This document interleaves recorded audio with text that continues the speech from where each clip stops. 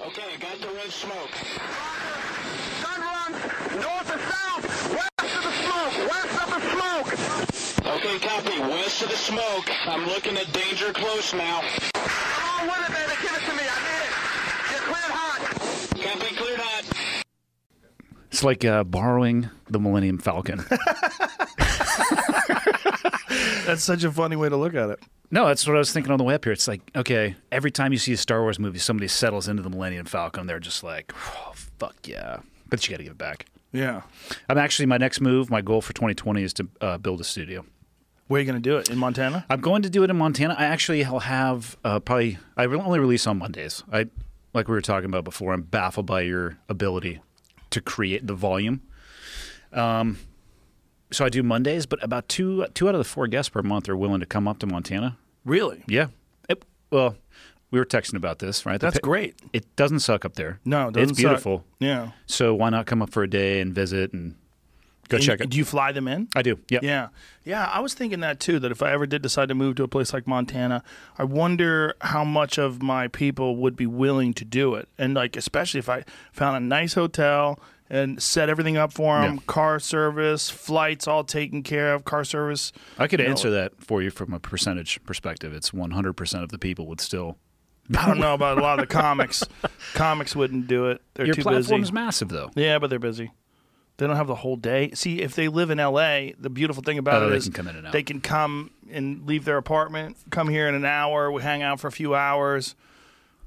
But who knows what the fuck is going to happen once all this shit is over? That's the path. I was when you say living in LA. So this is my second time back. The f- first time when I was here, like a month ago, was the day that they lo- uh, announced Yeah. the stay in place, and we were like walking on the Santa Monica beach, as were many people, as was the guy standing in ankle deep surf trying to control the ocean doing tai chi. It was amazing, and I'm not sure if he was successful or not, but he was working it for over an hour. but I, we drove up to uh, Malibu yesterday, and I was talking with Brian about this yesterday. Two things have kind of struck me since just being back in Cali for 48 hours. One is fences separating people from open space along the beaches. Like, go home, get out of here. Like, there's this beautiful Southern California beaches and weather, which is probably why most people are here, and you can't go there. So they're restricted from that. And the second one that is Fences to keep people from the beach because those are illegal. there are fences up along sections of the beach with signs that say this is closed. Oh, because of the pandemic. because of the pandemic. Okay. It's just so it was so crazy to see yeah. the beautiful, pristine, completely vacant open spaces. That's a big issue right now. I don't know if you're, you're aware of this, but today this has been the governor came out with a uh, a statewide mandate that all beaches and parks had to be closed, and everyone blew a fucking gasket. San Diego said you can suck my dick. Mendocino, um, uh, uh, Humboldt County said you can suck my dick. They said this is unconstitutional, and then the government backed down. So it's interesting. The governor has backed down off of his his decision to try to control the entire state and tell them that they can't open their beaches up, which is a good thing because he's he's pushing so hard to keep these fucking businesses closed down for a long point.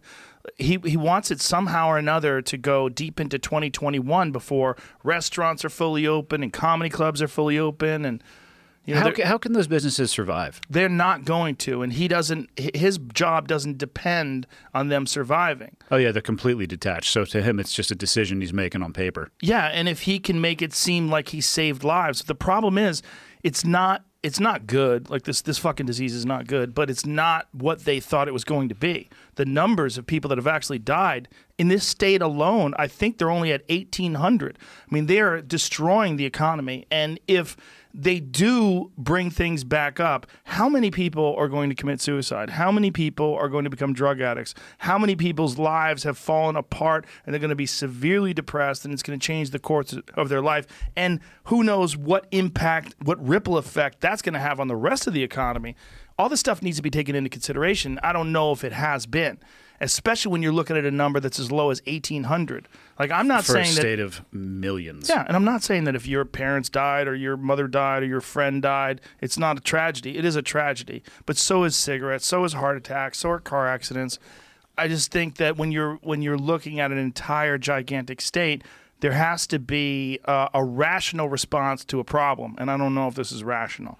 I think this is. I think they should probably start opening things up and and giving people the option whether or not they want to do it. And if they need to make a correction in the future, fine.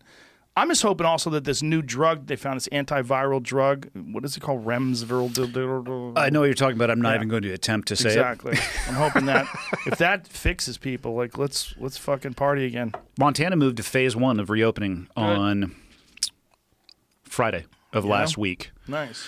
So what are they allowing? They're doing retail with social distancing, restaurants, I believe, with outdoor seating or limited capacity. Which that's an interesting uh, conversation too, because like, is it worth it for a business to stay open at a maximum of twenty five to fifty percent capacity? Right. Probably still losing money. I Yeah. would bet. They're hoping to keep people hanging on until they could fully open again, right?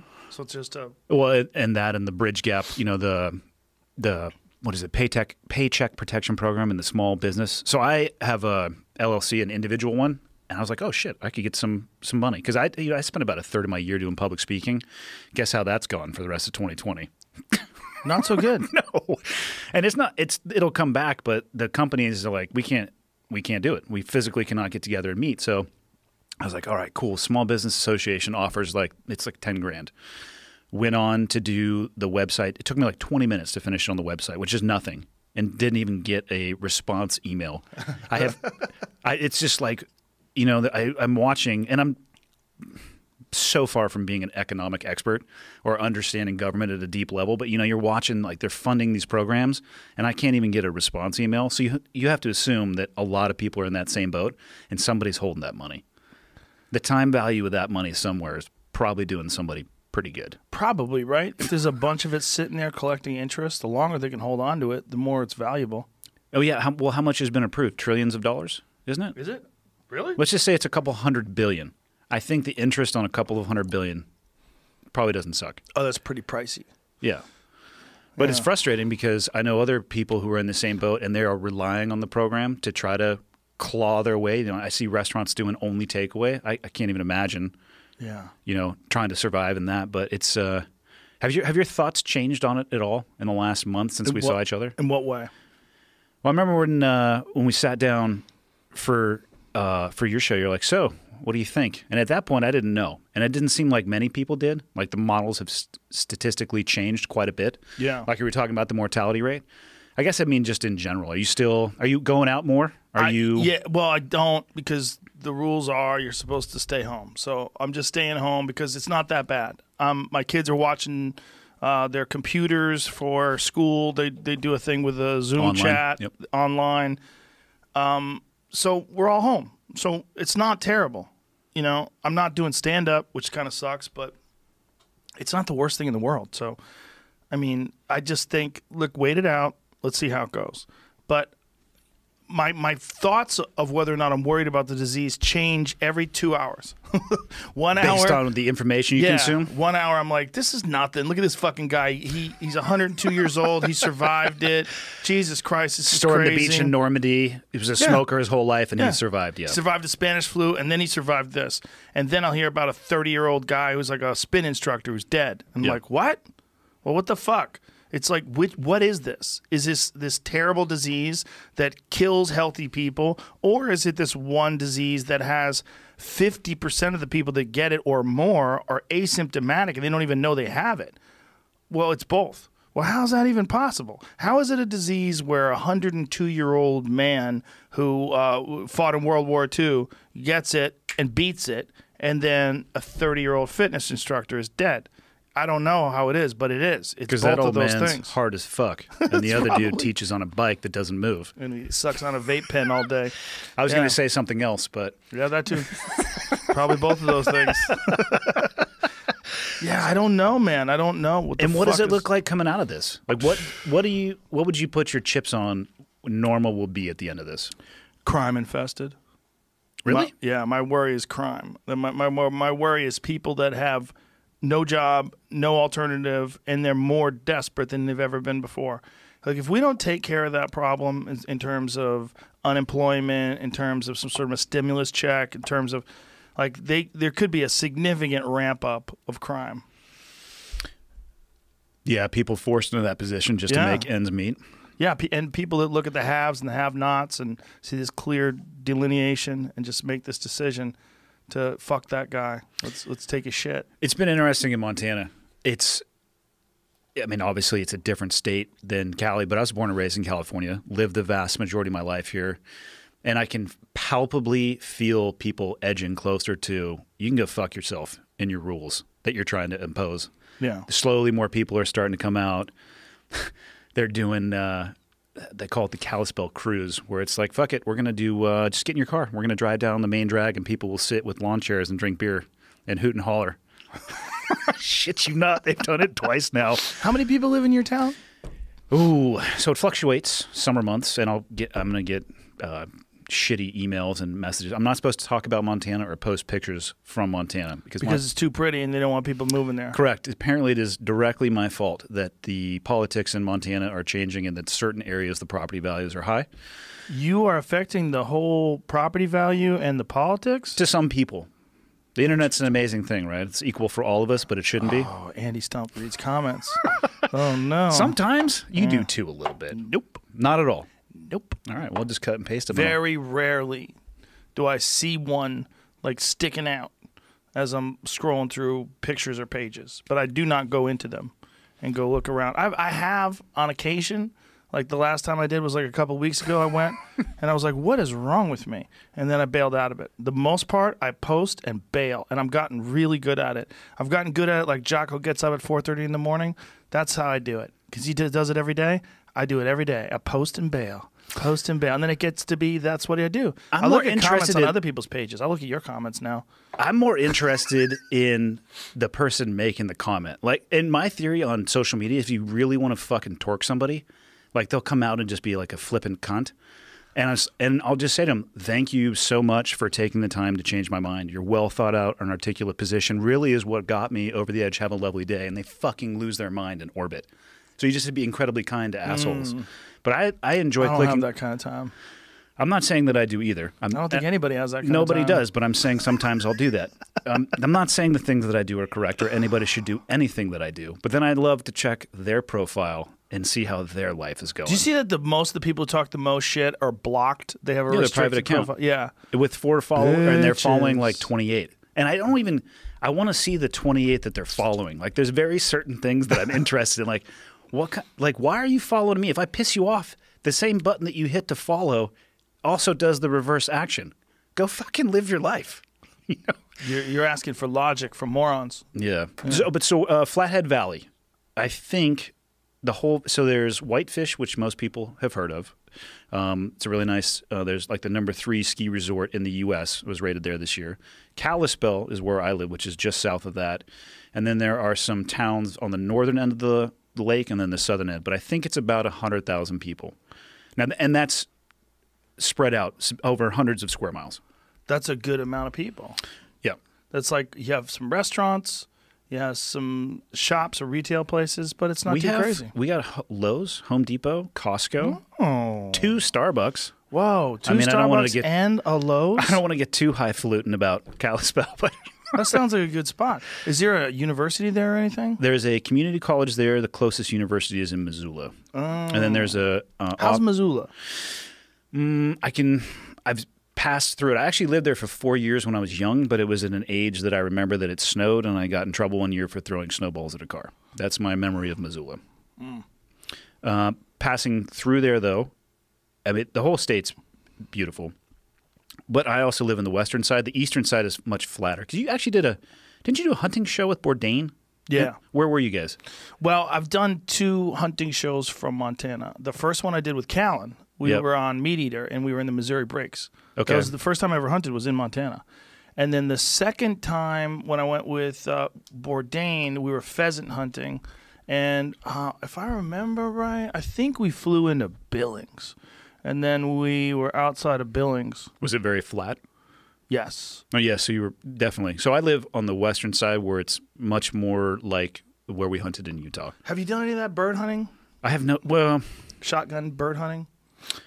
I mean, I would shoot at a turkey with a shotgun. I don't really have any interest in. Yeah. Callen is a guy to me who seems like he'd be an avid pheasant hunter. He'd have the right dog. He would You have he to have a perfectly trained dog. Oh my god! I recorded. We did an episode again last night. Making I just play movies for him and get his guidance. so he, this is amazing. His number one thing that he thinks should be utilized to clear structures for military personnel is attack snakes and hornets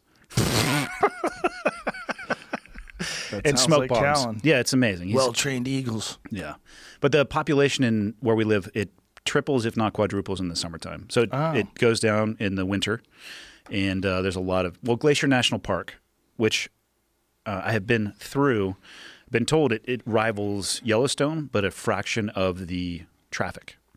Really? Yeah, Interesting. and you can see the opening to uh, Glacier National Park. I think the that's the place to live if Yellowstone blows, which Yellowstone could blow. You want to be right there. Won't that get You us know- all though if it blows? Yeah, but you want to be right there. You don't want it to get you in a month. Oh no, for sure. You want your house to vaporize in the fireball. Yes, yeah. you don't want to be that guy who dies in that nuclear winter four months later of starvation while you watch while you've buried your kids in your backyard in a shallow grave because you don't Yeah. have the fucking energy to dig a real hole. And you're doing some like Book of Eli shit, hunting a cat with a bow. Exactly. yeah, you don't want that, man. Good God. You don't want to be that guy.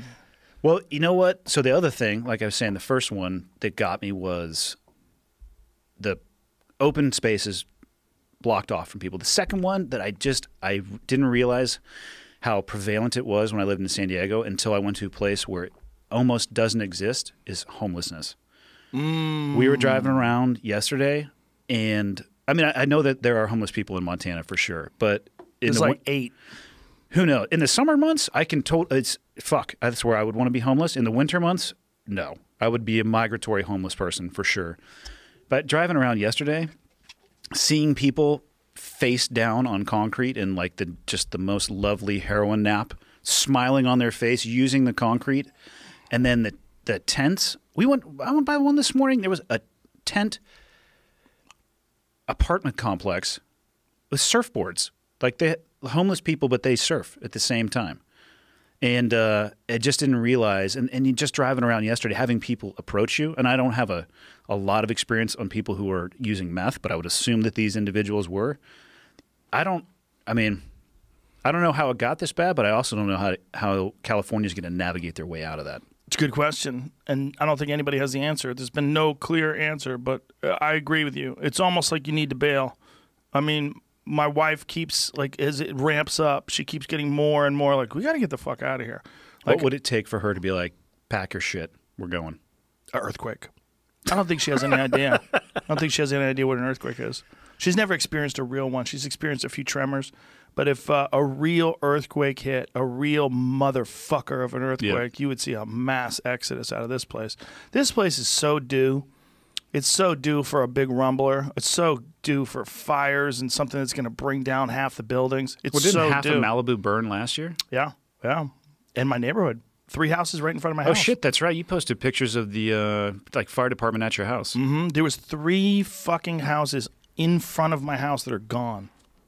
Did those people rebuild or did they bail? Nobody's rebuilt yet. I mean, I think it takes um, it takes a while to get your insurance money. Some people in my neighborhood have started rebuilding, but a lot of people are like, "We got to get the fuck out of here." Like these, this happens here. I mean, we since I've lived in my neighborhood, we have been evacuated three times over the last twenty years. Really? Yeah, Fires, all fires, three? all fires. Yeah, My brother-in-law is a San Diego City fire captain. And uh, during just a particular season of the year, I think, uh, God damn it, uh, what are they called? The winds, the hot winds that come from the east, Santa Ana's? Santa Ana's. Yeah. It's basically all hands on deck because they know that that's just a tinderbox blowing their way Mm-hmm. into the valley. there's not enough resources to stop those motherfuckers in their tracks. Once once once the fire gets going, starts burning through those hills. Yeah. Two years ago, I mean, I mean, it's not all you know plum drops and roses up. I mean, we got forest fires, obviously, and two years Yeah. ago, it was to the point where I couldn't see to the end of my block.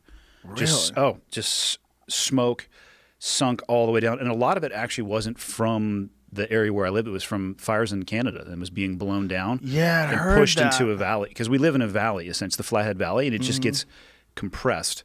And it just sat there for God, about a month. suck for your breathing. It was during the opening uh, elk opener in Montana, and just walking around. There was a couple days where I was like, "Fuck it, I don't care. I'm not going to go hunting." Wow. Yeah, it was that bad.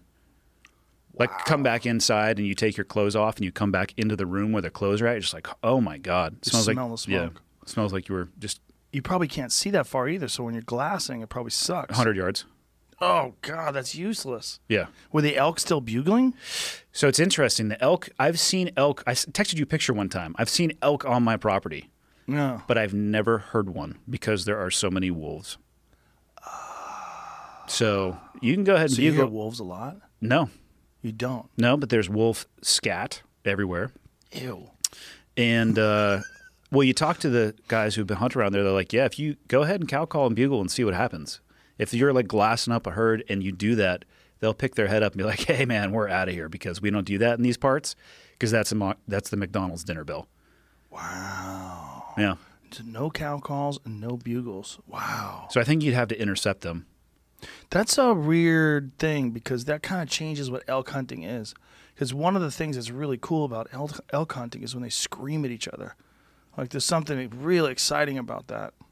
Yeah, when it cavitates your chest because they're that close. When Cam and I um, shot that bull, that uh, uh, I showed you this uh, video that we did, that uh, he filmed it like right behind me. We had gotten into this rut fest where there was like nine bulls that were going at it with all these cows. They had these cows branched off into like these little harems, and this one pocket of timber was just filled with bulls and cows. It was crazy, screaming at each other. That's just the same scenario of the bull I killed after you guys took off. We Mm. were, I don't know if it was accidental or the the guy that had been in that uh, area, the Hell's Canyon area. He put us on basically a four way freeway intersection of bulls and cows. After I shot the bull that I shot, like three or four other bulls still came in and would just sit there and look like 15 yards away, just looking at us. Just like, what's going on? they lose their mind. Oh, ripping bugles. That trip, the the Utah trip we did, I got, I was frustrated, mind you. I had an interesting experience during that week, but I had more interaction and time to actually watch elk in their environment. Got to see one in a wallow for the first time. Uh, watched one just kicking the shit out of a tree for 30 minutes, just raking that thing. And the guy was like, "Yeah, you can't shoot it, but go ahead and try to get as close as you want to." You couldn't shoot it because it was too young. This is all I would get for my guide, and since this is audio What's you doing with your fingers? yeah, this is what I'm doing. Too small. too small. and I'm just like, if you weren't here, I would have shot every animal that we have seen. yeah, they get in trouble. they get in trouble if, you, if the Yeah. Deseret if uh, the animal's under nine years old. That was an amazing experience. But But, that's why it's amazing. Yeah, Because if they didn't do that, they'd have ever jackass like you and me going down there and launching arrows at all the young buck, all the bulls that got close enough. You know, I don't know some of those things. Well, and then th- I could have had a shot opportunity the f- third day in there, but I was on his left shoulder and he was trying to give me his thumbs up with his right hand, so I would have had to been able to see through his body to see it. oh, he's retarded. And just watching this this and this bull either had just gotten its ass kicked or had just had more sex than it had ever had in its entire life. It was like matted with sweat, just standing by a bush, just like. And I'm just sitting there. I had it ranged like seven times. You know, bulls don't sweat, right? No, I don't know what he was doing then. Probably wallowing around in, in water. Whatever he was, he was exhausted. Maybe I'm he sure went exhausted, but they, they don't yeah. sweat. tossed around with the harem for a bit, took a little whore's bath. But that thing, he actually even looked over and saw us and was just like, "Huh," just sauntered off. Wow. Fuck. And you had the green light. I had to, well, I was being given a green light, but How I, far away was he? 42. Oh, Jesus. It would have been, and it was a, a slightly uphill shot. It would have been perfect, actually. Yeah. There's nothing in this life that's like, I mean, I, I don't want to say it's the best thing in life because I'm, I'm sure it's not, but there's nothing that's like a perfect shot on an animal. When you're watching that arrow arc right into that golden triangle and you see it sink into the fletchings and you're like, it's done. Yeah. That's it. That video you have of Cam filming you was pretty unbelievable. This is the best video I've ever seen in my life. You guys got a touch gay at the end of it? We got very gay. We got super gay. I love you. Somebody said, I always wondered what it would look like if Cam and Joe had a kid, and we almost found out. I support that comment completely. Oh, there's something about doing something like that, though, that shot. And that was a good one, too, because there's all this hang time, because it was a long ass shot. So you, you hear the thunk, the bow go off, and then you see that arrow just slam right into the right into the pump station. That was what 65. 67 yards. That's such an awesome shot. Oh, How do so you feel in that moment when you know a shot is coming? Do you start getting amped up, or do you? Sometimes I don't want to though. I, Yeah. I try to keep myself from getting amped up, but in that one, I just concentrated 100% on the process. I doesn't was not that shaken by that shot. After it was over, I was super excited, but during the shot, I felt very relaxed. I mean, I was clearly elevated, right? I was Yeah. clearly. I mean, uh, it was a big bull, and it was a long shot, and it was a perfect opportunity. Turned totally broadside. Wasn't he slowly walking too? He stopped. Oh, okay. He stopped. He he had fucked up this other bull. They had gone after it, and he turned and he was going back to his ladies, and he just took a breath, just paused, and he paused in between these two trees, and he just thank and watching it sail, sail, sail, and hear the thwack and see it just go right into the lungs, and I knew it was double lung right away. How far did he go? Uh, he went pretty far. He went hundred yards. It's amazing how far they can go with no lungs. Yeah. They just sprint with all the air they have in their body, and they're so big and their legs are so long. They can get 100 yards in a couple of seconds. And that's what happened. He went over the top of the hill. He went, he went, he started running. He went over this log and went over the top of the hill and then went another like 30 or 40 yards and piled up. Just, just dead, never stopped. Just, just got to the one spot and then tipped over. We found mine with all four legs backwards too. Jesus because it was Christ. it was a quartering shot. I you can actually hear me on video when it. I I knew I was going to have to draw back. The thing came into like three yards head on, and I had and I hadn't drawn because I hadn't gotten the thumbs up yet. Oh and, Oh my and I was legitimately like, okay, what do I do if this thing keeps coming? Like I was just going to go jab and dive out of the way because the cameraman was behind me, and I figured he would take it on the chin. But I knew that you know I had two guides with me, and I knew they were going to try to stop him. So I have at least fucked up enough things hunting that I'm like, okay, this is probably what's going to happen now. Hmm. So I took my time to draw, and he stopped. But I had like this little window in the trees to shoot through, so I'm trying to line up my pins. And when it released, from the angle I was looking at, it was a pretty hard quarter away. I say it on video. I'm like, fuck, it's back. And then it ran over a hill. We looked back on the video, and it was back, but the angle that it penetrated was perfect. You and, actually want to be back on a real Yeah. hard quartering away shot. and we could hear just over the hill. It was just like, and I'm looking at the oh. guys. I'm like, is that good? And he was just like, it's good. The first bull I shot at the Deseret, I had to shoot through this little window, and it was on film. It was like uh, first bull I'd ever shot. I think the first, yeah, definitely the first bull I ever shot with a bow and arrow that I knew other people were going to be able to see it because it was for Under Armour. And uh, that tweak you out a little bit. no, no, surprisingly not. I was real focused because of it. I think there's something good about that. Because I do so much shit on camera, I'm not really that's worried true. about doing stuff on camera. But I was also very focused on making a good shot. But I had to shoot through like uh, like a beach ball size hole at 30 yards. I had to punch it straight through. Oh, the hole was at 30 yards. Yeah, this whole it was all this shit in front of him. There's a video of it. The bull stops, the guide stops it, and I just thread the needle, whap. And I'd rather have it- that hole right next to me. I wouldn't want to have to go through that basketball hoop at a distance. Well, it wasn't much choice. Yeah. It was, but it was big enough. It was, you know, a beach ball size. It was big enough, so I didn't hesitate. His all his vitals were like right in the spot. It was the perfect stoppage.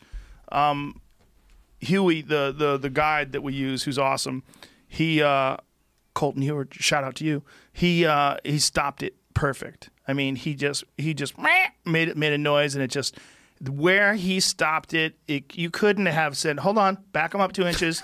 you couldn't have done that. And you where I Get hit him to him, put that front arm forward just a touch. if you went up to him and pointed to the spot where you should hit him, I couldn't have hit him any more perfect. It just went right in there. How stable are your pins when you're getting to that moment? I don't even know. I hope they're stable. I don't know. I don't know. I mean, uh, it's like when you make a good shot, it's a very, very satisfying feeling, but you're just so concentrating on the process. It's hard to recollect. I remember I did all the stuff that I needed to do. Like I said that on when I did that video with Cam, I said I just concentrated on the process. I centered my peep, I checked my bubble, and and I put the pin on them, and I just pulled my back and Yeah. plank. And I was using a silverback too, which I really, really like for high pressure situations because you really have no idea when it's going to go off. And because of that, man, I mean, I know a lot of people like a thumb trigger, and I've used that too. Like I used that in the Under Armour thing too. The that, video was a- one? Are you no, I used the uh, first choice, the three finger one. I like the three finger ones. Is it a similar concept? You mean with the thumb Yeah. release? You can still Yeah. fire with back tension, but your thumb. Exactly. Okay. My thumb just sits on it, and I'm pulling it with my back. But you can flinch if you if you're if you just like go now and you hit it with your thumb, it will go. Whereas it won't with the silverback. You the last thing you want is to be that go now guy, right? That hit it now. It's the terriblest feeling when you know you've done that and you miss. Yeah. Oh, you feel like such a even a target. If I shoot a target like that, I'm like, what the fuck? I'll go back to like a hinge release or I'll go back to a back tension for months and months and I won't touch a thumb until I know I can use it. Now I'm really confident I can hunt with a thumb because I know that I have a process in my head. I don't just shoot. I have this whole process where I make myself go through these steps so I don't fuck it up. Yeah. And I fucked up enough that I'll rigorously stick to that process. But there's nothing like those back tension releases. You take all that out of the equation. Like you're not with that silverback. You're just using tension. Yeah, You're I not, love that thing. You're, you're not thinking about anything else. I Just usually do like 95% of my practice with that, but I usually hunt with the Noctua because I like to be able to hang it on the D loop. That's really the only I thing that because I. it bangs around when you're going through the bushes and shit. And what if it falls off? I like to keep that fucker I'll right, put my second one on there. right in my bino harness or right in my pocket. Yeah. Yeah, I have a second one too. was I have hunted with the silverback. That first black bear I killed was with a silverback. Mm. Yeah. I wonder if they'll let us hunt this year. I know, right? Have you thought about that? I have thought about that. Yeah, I would. I think. I mean, what about? I mean, Montana. They make a ton of money per year on non-resident tax, Mm-hmm. and I'm curious. What about outfitters? I bet you they're not sitting on cash reserves that can go multiple seasons without hunting. No, no, no, not at all. Yeah, what do they do? Yeah, What do you miss the most? comedy clubs for sure. Out of all the stuff that you do, is that your favorite? Yeah, if there was one thing that I couldn't, if I if I could choose one thing that I, I had to abandon all the other ones, it would be comedy. Because I feel like podcasts, I could always do somebody else's podcast and have a good time once a week or once every month or whatever. And uh, as far as the UFC, I'm just I enjoy it as much watching it at, home as I do calling. And in fact, probably maybe a little bit more when I'm doing like fight companions with Yeah. Callen and and Eddie, Eddie Bravo. Well, you guys only watch usually between two to three minutes Yeah. of the. fight. we're having fun. but the live experience is a job, but Yeah. it's also, you know, it means a lot to me. Like to be able to do that job, like to be able to give words to incredible moments where these guys are having these insane fights and to, to try to illustrate how spectacular it is and enhance it for the people at home. But I don't have to do that. Other people do that real good. You know, there's plenty. You do it pretty good. I actually have gone back and watched some of the older UFCs, and uh, I didn't realize how much I didn't know until I started training. And now, because if you don't know what you're looking at, some of the shit that happens is invisible. Right, until sure. You explain it, right? And then you're like, "Oh, I remember when that son of a bitch did that to me in the gym the other day. Like, I understand why that hurts." yeah. But man, I didn't realize how little I understood about the micro exchanges that are going on, or just positioning and the pressure. Mm-hmm. Fuck, man. Yes, particularly with jujitsu on the ground. You know, that's uh, one thing where people who don't have any experience in grappling really don't know what they're looking at. S- striking is kind of like the guy hit the guy with the elbow, the guy hit the guy with the knee. Like they're kind of like you can kind of see, Yeah. you kind of get it. You don't know how he did it. Like, wow, how that guy hit him like that? But you know he hit him, and that's why the guy got hurt. Whereas with submissions, it's like, what happened? Yeah. Like someone gets someone in a calf slicer, and you're like, what happened? Why would you tap to that? I'm like, come here. Yeah. bro. um, uh, Charles Oliveira got a guy in a calf slicer in, in the UFC, and I remember thinking, "Look at this motherfucker!" Like, wow, just so painful. It feels like your knee's gonna explode, your shin's gonna snap. Yeah, the bicep slicer is not much better. Ugh, I hate that one. Yeah. because I feel like there's a small window where you know, like when you have it, like you know, you, you put it across the arm and then you triangle it. It, it seems like as you're pulling, you triangle like, There's a small window here where this thing's gonna snap. Yeah. Vinny Magalhaes just got his leg snapped. Did you see, hear about that? Craig Jones Oh, just I did had a hear match about with this. Vinny. Wasn't this Mr. Hashtag leg locks don't work? Uh, I think he had something controversial to say along Yeah. those lines. And then didn't he melt his fucking leg due to the same thing he was? I think he probably said that that they don't work on him because like Craig Jones is a famous leg locker. Oh yeah. If he did say it, I don't know if he did say it. I'm pretty sure he had leading up to it was somewhere along the lines of hashtag like leg locks don't work on me or fuck leg locks. Well, now we know Yeah. he's got a broken tibia. You're Tibia, wa- tibia or fibula? One of the. it was a one of the spiral fracture, right? I don't know. Yeah, I heard, I'd heard that his uh, foot was visibly pointing in a direction that a human foot should not be. Craig Jones sent me a, a message so we could see it if we want to see it. Okay. He he he let me know about it and uh, uh he sent me a direct message on the Instagram. I highly support his choice of uh, leopard apparel when he goes into the ring. He's a funny guy. He's a very interesting guy. So this is uh yeah, that oh, okay, it's images. This is uh, as he's cranking on it. That's the first image and then he's he I snapped it. I can't. I don't know Yeah. about you. Well, you sit ringside. You actually said it before. You've probably seen more people get knocked out than uh, probably anybody else on earth. I'm okay if it surprises me. I don't like to go and like let me go look at YouTube for motorcycle wrecks. like I that fucks me up. I c if it happens in front of me, I'm like, oh damn. Or if I don't know what's going to happen in the video, I'm fine with it. But Right. it turns my stomach if I actively go and look for that shit on the internet. Well, it probably should. yeah. Some people do. Like, how about kids? Imagine being a 16 year old kid with an internet account. 16 year old kids with an internet access and a YouTube account that are just jumping on and watching all these videos. You can fill your brain up I with have some horrendous 16 shit. and 14 year old boys. Uh, and I think they're you know broken. well well from my, the browser history might leave a mark you know it's Animal attacks. There's so many animal attack videos now. When I was a kid, it was hard. It was hard to find a guy getting attacked by a tiger, or it's hard to find a guy getting mauled by a bear. uh, the guy's face missing from the bear Oh. that and then of course how about him talking? I know he's talking you know what fucks me up is like a hundred people will send that to me like why do you think I want to see that because they're in your neighborhood. Those same bears. well Have you seen one yet? no actually I haven't No grizzlies. I uh, no but there is a grizzly at the ski resort I was telling you about in Whitefish they have a run called Hell Roaring on the backside, and they have to close it down a touch early because there's a grizzly den right there, and they got to shut it down before she comes out. Holy fuck. Holy fuck. Imagine if she comes out while you're skiing. You imagine just- you're coming down shh, and you see that head pop out. Oh, I can I can one up you on that. Uh, I don't know. I think it was a few years ago. There was a downhill mountain bike rider. So the ski resorts in the summertime, you know, they'll carve in the paths so people can just rip down on these multi-thousand dollar mountain bikes. Uh, I don't know this person uh, directly, but I know people who knew him second and third hand. He came ripping around a corner and hit a fucking grizzly bear, which then took his head off. Killed him? Oh yeah, Oh my god. just happened. Well, there's huckleberries all over that mountain too, so they're just feasting in the summertime. Oh my god. So he had it, the bear probably thought he attacked him. And I, from Oh. my understanding, it was like a blind turn and just at velocity straight into. the... Can you imagine that? Oh my god. Yeah, You would bounce off that thing like a like a gnat. That's what's so fucked up. that's why I don't do downhill mountain bike ride. I like safe shit. That's a good move. I mean,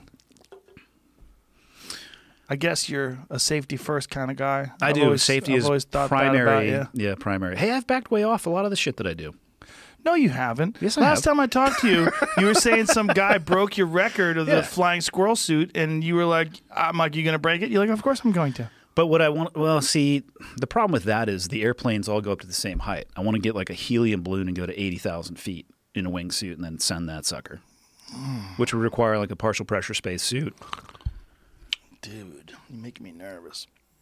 Actually, you know what I'm digging? Why do you want to do that though? Oh, I won't. I mean, I can talk shit. Uh, to be honest with you, the skydiving is extremely easy.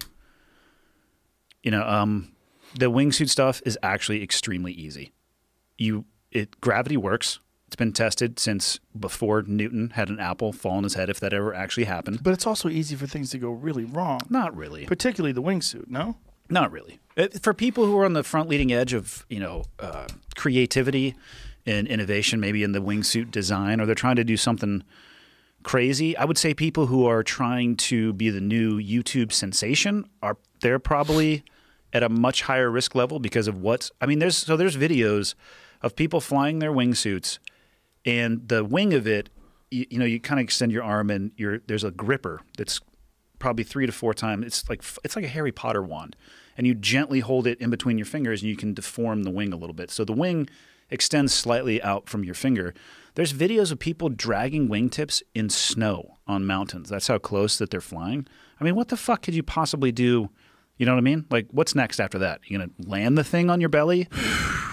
And I have no desire to do like they can go try to do all that all they want to. Like I could give a shit about that. I enjoy being in the outdoors. I do love base jumping. I do love skydiving, but I try to do it as safe as humanly possible.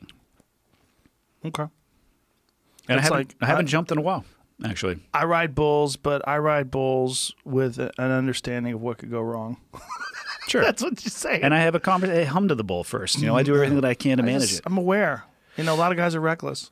Yeah, I, I know where the danger is. I'm like, yeah, no, it's. I mean, I'm. I've been around enough incidents that have happened in those environments and lost enough friends that I mean, I get it. I understand the consequences to it, and my risk reward ratio has shifted. Like one of the mm. big things that I would actually rather do now is jujitsu. It's. I love it. It's fucking awesome. Yeah, we were just talking about that. I'm banged up and injured, and I haven't been able to roll for about a year, and I can't wait to get back. Well- can't wait to. How much were you rolling before that? Um, Over the last year, not that much. The last year before I got injured, because I was I was in. I've been injured perpetually over the last like three years. Whereas shoulder injuries that I had to get stem cells for, a lower back injury that was causing me to have some sciatica, um, bunch of stuff, knee stuff. There's like always something. And when you hit my age, I'm 52 now. It, I don't know anybody who does jujitsu that's my age that doesn't get a bunch of surgeries. They all get, or like, they disc- change their training patterns or their training partners pretty you'll see people like nope Mm-hmm. not you know Say no to savages that just want to fucking go to war every day. Some guys just don't roll light. They just want to go to war. They just Yeah. always want to go to war, and it's fun. I get it, but uh, it's fun going to war if you fucking win yeah, but th- th- th- it's also just it's not even if you win because even if you do win, you still hurt yourself. Like the the, the sheer numbers. You know, I started jujitsu in '96. So just the sheer numbers of training sessions over all those years, it just I know so many guys that are fucked up, like Yeah. to the point where they have like one atrophied arm because they have pinched nerves and their nerves aren't signaling to their biceps. Like I know a couple guys like that. did I they know- train through the warning signs Yes, everybody does. Yeah. They all do. men could be the dumbest species on the face of the planet for sure, But that's also why we get shit done because we figure out a way to push through things. It's like a, it's a catch twenty two because you don't want to the kind of person who pussies out every time they feel a little pain. They never get anywhere. But then you have to know when you are not being a pussy, but you're actually being a good body manager, right? So you, you've got to know and know this is actually an injury. You have a, a torn ligament. You Yeah. can't do this. You have to back off. you were telling me before you were a head and arm triangle guy I love those, but they fuck your neck up. They fuck my neck up. I, the I recipient's neck or the person mine. I developed a bulging disc in my neck on the side because I was pushing with the right side of my neck because I oh would get it. like point loading Yeah. your forehead in Spoiler alert: I'd always get it on the right arm.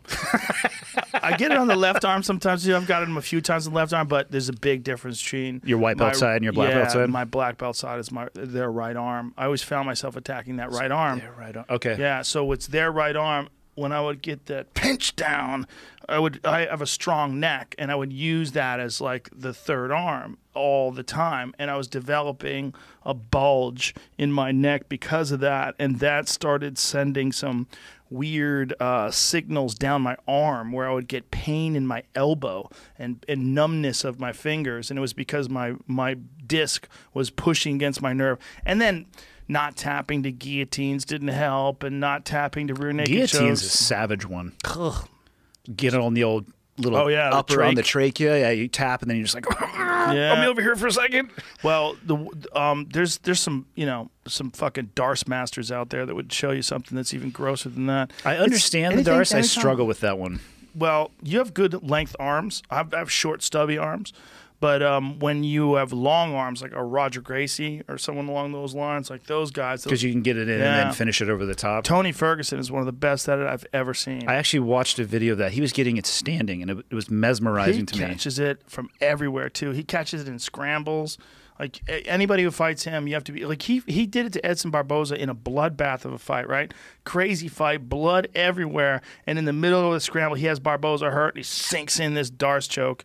Like in the third round when they were covered in sweat and blood And can't he? Doesn't he finish it from the bottom, the top, the side? all the time. Doesn't care. all the time from everywhere. He's got an amazing. It's like it's funny how some guys has just this one technique that just is so sharp. Like um, there was Cody McKenzie. I don't know if you remember him. He was on the Ultimate Fighter. Sort of like this wild dude from Alaska. Looked like he just uh, stepped off of a bar and smoked some meth Oil and wanted guy, to fight. yeah. yeah, but he had a crazy guillotine. Crazy. He caught everybody with it. Everybody knew it was coming. Still got him. They called it the Mackenzatine. It was amazing. I would watch him, and he wasn't good at other stuff. I mean, not not that he wasn't bad. He wasn't bad at other stuff, but he wasn't like that with other moves. He's just one move that he just had. Like if you got caught in his guillotine, you were fucked. He just had it polished. Could people get out of your head and arm? Yeah, some people got out, but more people didn't. Do you finish from the top, or would you go to the side? I'd go to the side. Yeah, I, but I've I've finished people from the mount. I've finished people from full side where I go around like a clock arm, counter uh, clockwise rather, and then I've also finished what they they would call um, I forget what Eddie called it, the impaler. That's what it was. The impaler is, and this was a really good one. If someone was doing that defense, there's a defense that guys will do where they wrap their own arms around their leg, and uh, they can kind of push with their leg, and it gives themselves some space and uh, it keeps you from cutting the blood off. But Oh, you, it frees one side. right, but you can you can beat that by what's called the in, in, impaler. And when the impaler is, you get the head and arm, you clamp it down, you get yourself in position, and then you move your knee to their sternum. And then once you have the knee and the sternum, then you just fucking crush. You crush it down, and it it forces them to defend that pain. It depends. It's a battle. You know, if the guy's really strong or if he's bigger than you, you might not get it from there. But um, it, it is a significant counter to that defense if you can get it in there because you know you got to think that arms here and the arms, the two arms are wrapped around that thigh, right? You slide your knee right in there, and your knee plants right down on that sternum, and you just fucking. I've, I've already, I've already tapped in this scenario. And you get a guy like Jocko oh, on you doing something like that, everything's just gonna go pop, pop, pop. Those ribs will go. Eddie Bravo did it to me once, and I thought I was gonna lose all my ribs. Like I was like, okay, try this.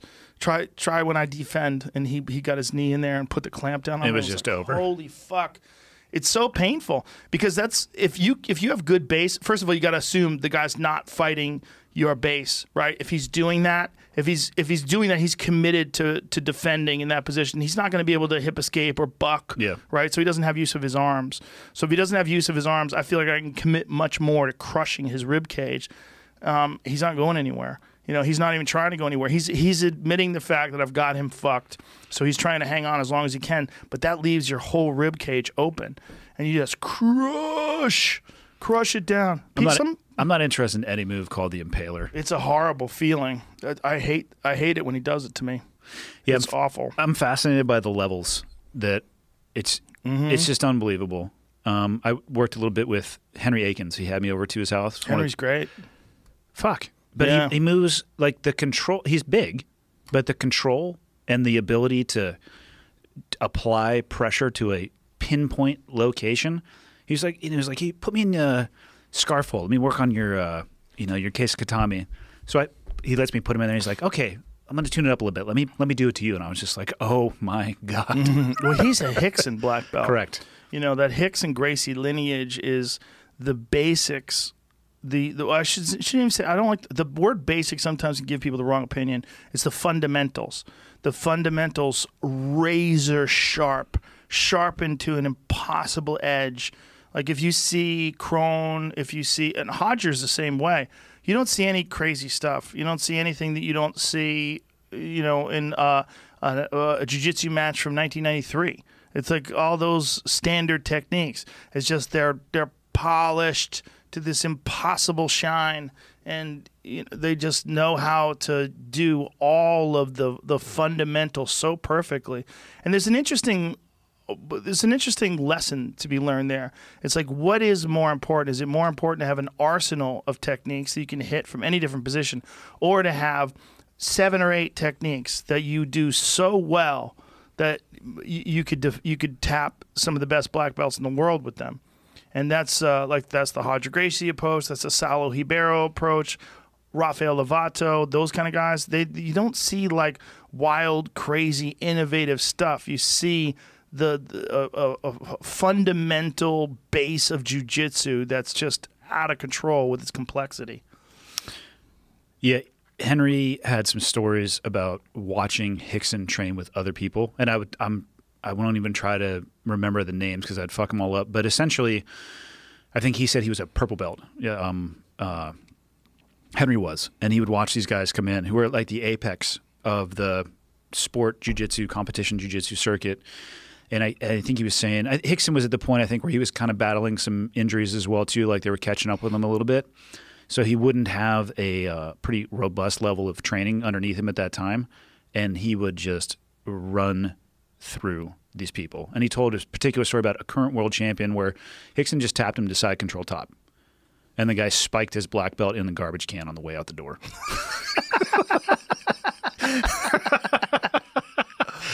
and, God and Henry said nobody like he, they were he was partnered up with another guy who he described as like his arch enemy. It was like purple belt on purple belt murder in the corner. Mm. But then they caught out of the corner of their eye that Rickson was rolling. So they're like we're we're done for now. We're going to watch Rickson roll for a bit. And I guess he got him with something first, and then he didn't see what it was the second time. So Henry said he stayed afterwards. It was just like, what happened? I didn't see the second submission. He's like, side control top. Just the fucking pressure. The current world champion. That's so crazy. Yeah. Because that's like a meme. There's a guy sitting down with a girl, and she goes, Tell me about yourself. And he goes, I tap from pressure. and then the next picture is the guy by himself, and the girl's gone.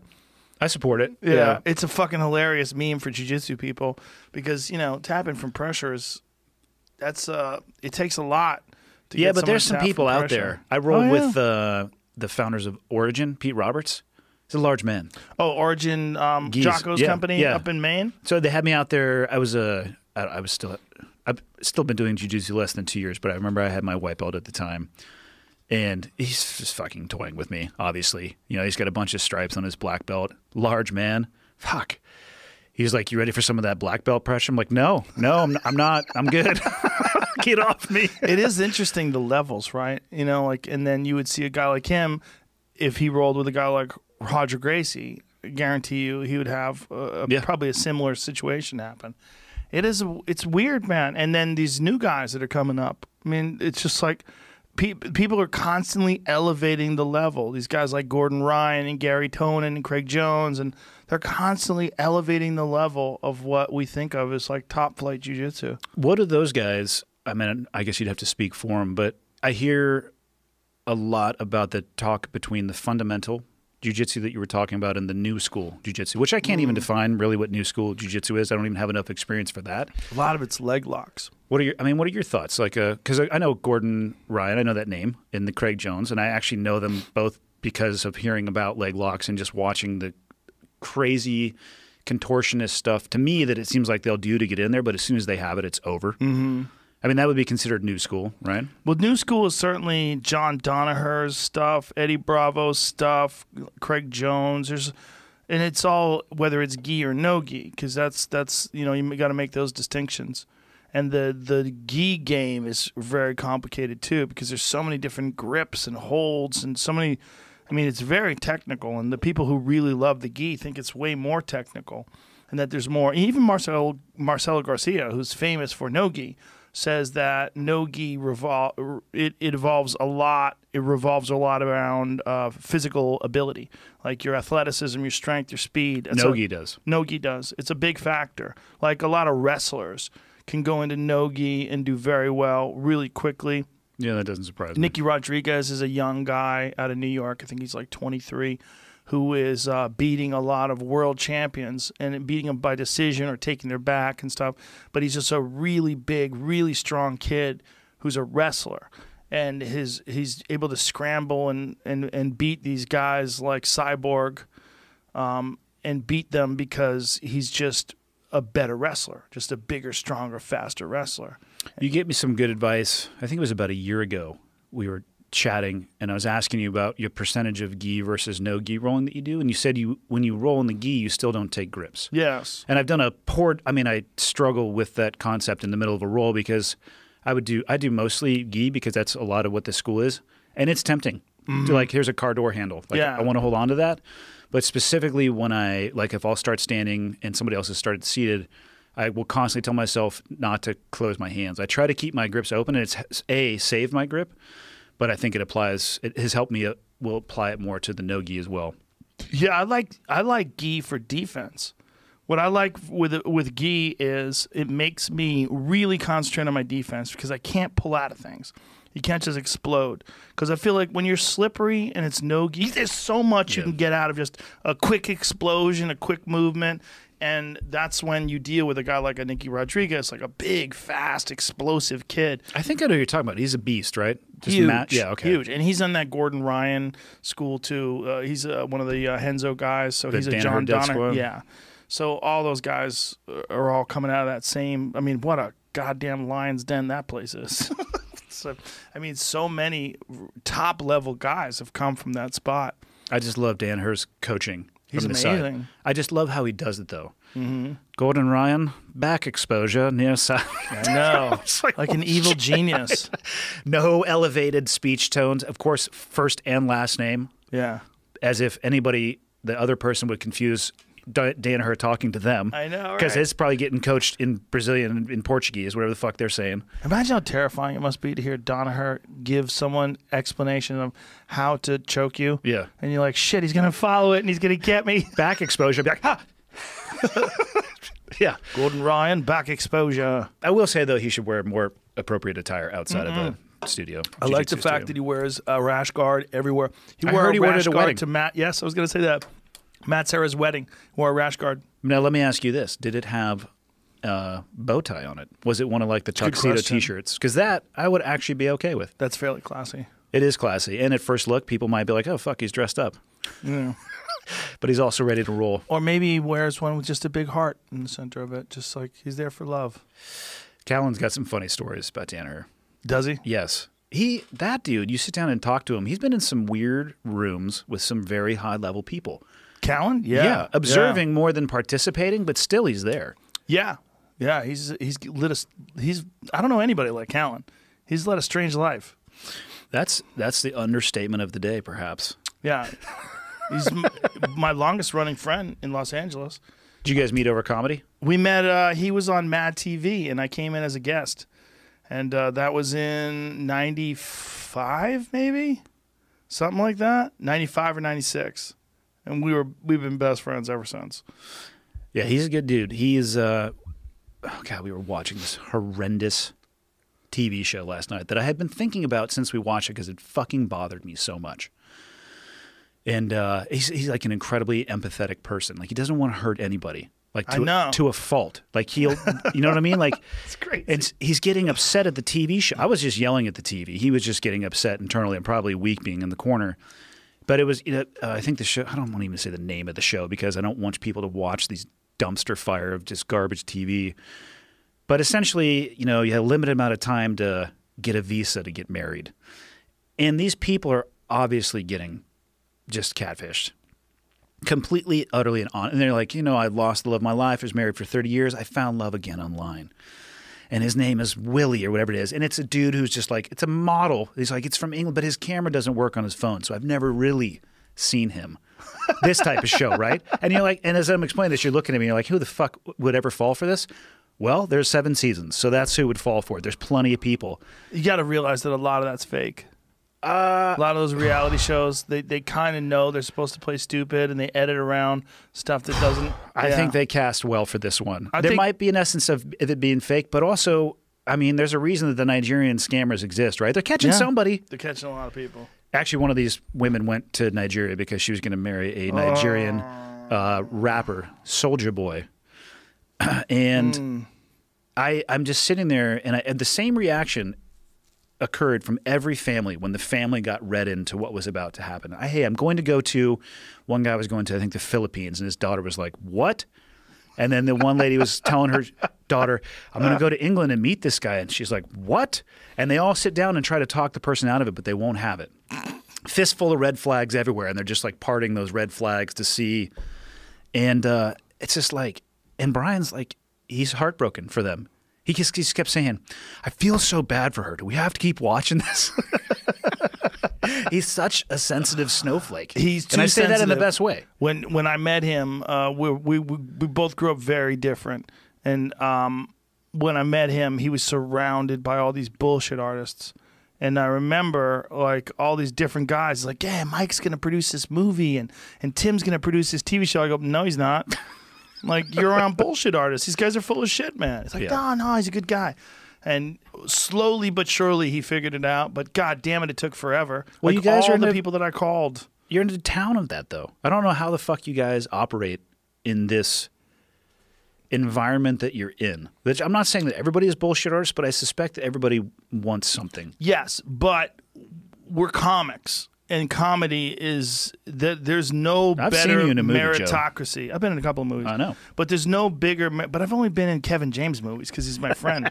Uh, there's no bigger meritocracy in show business than comedy. Because if you are not funny, they do not laugh.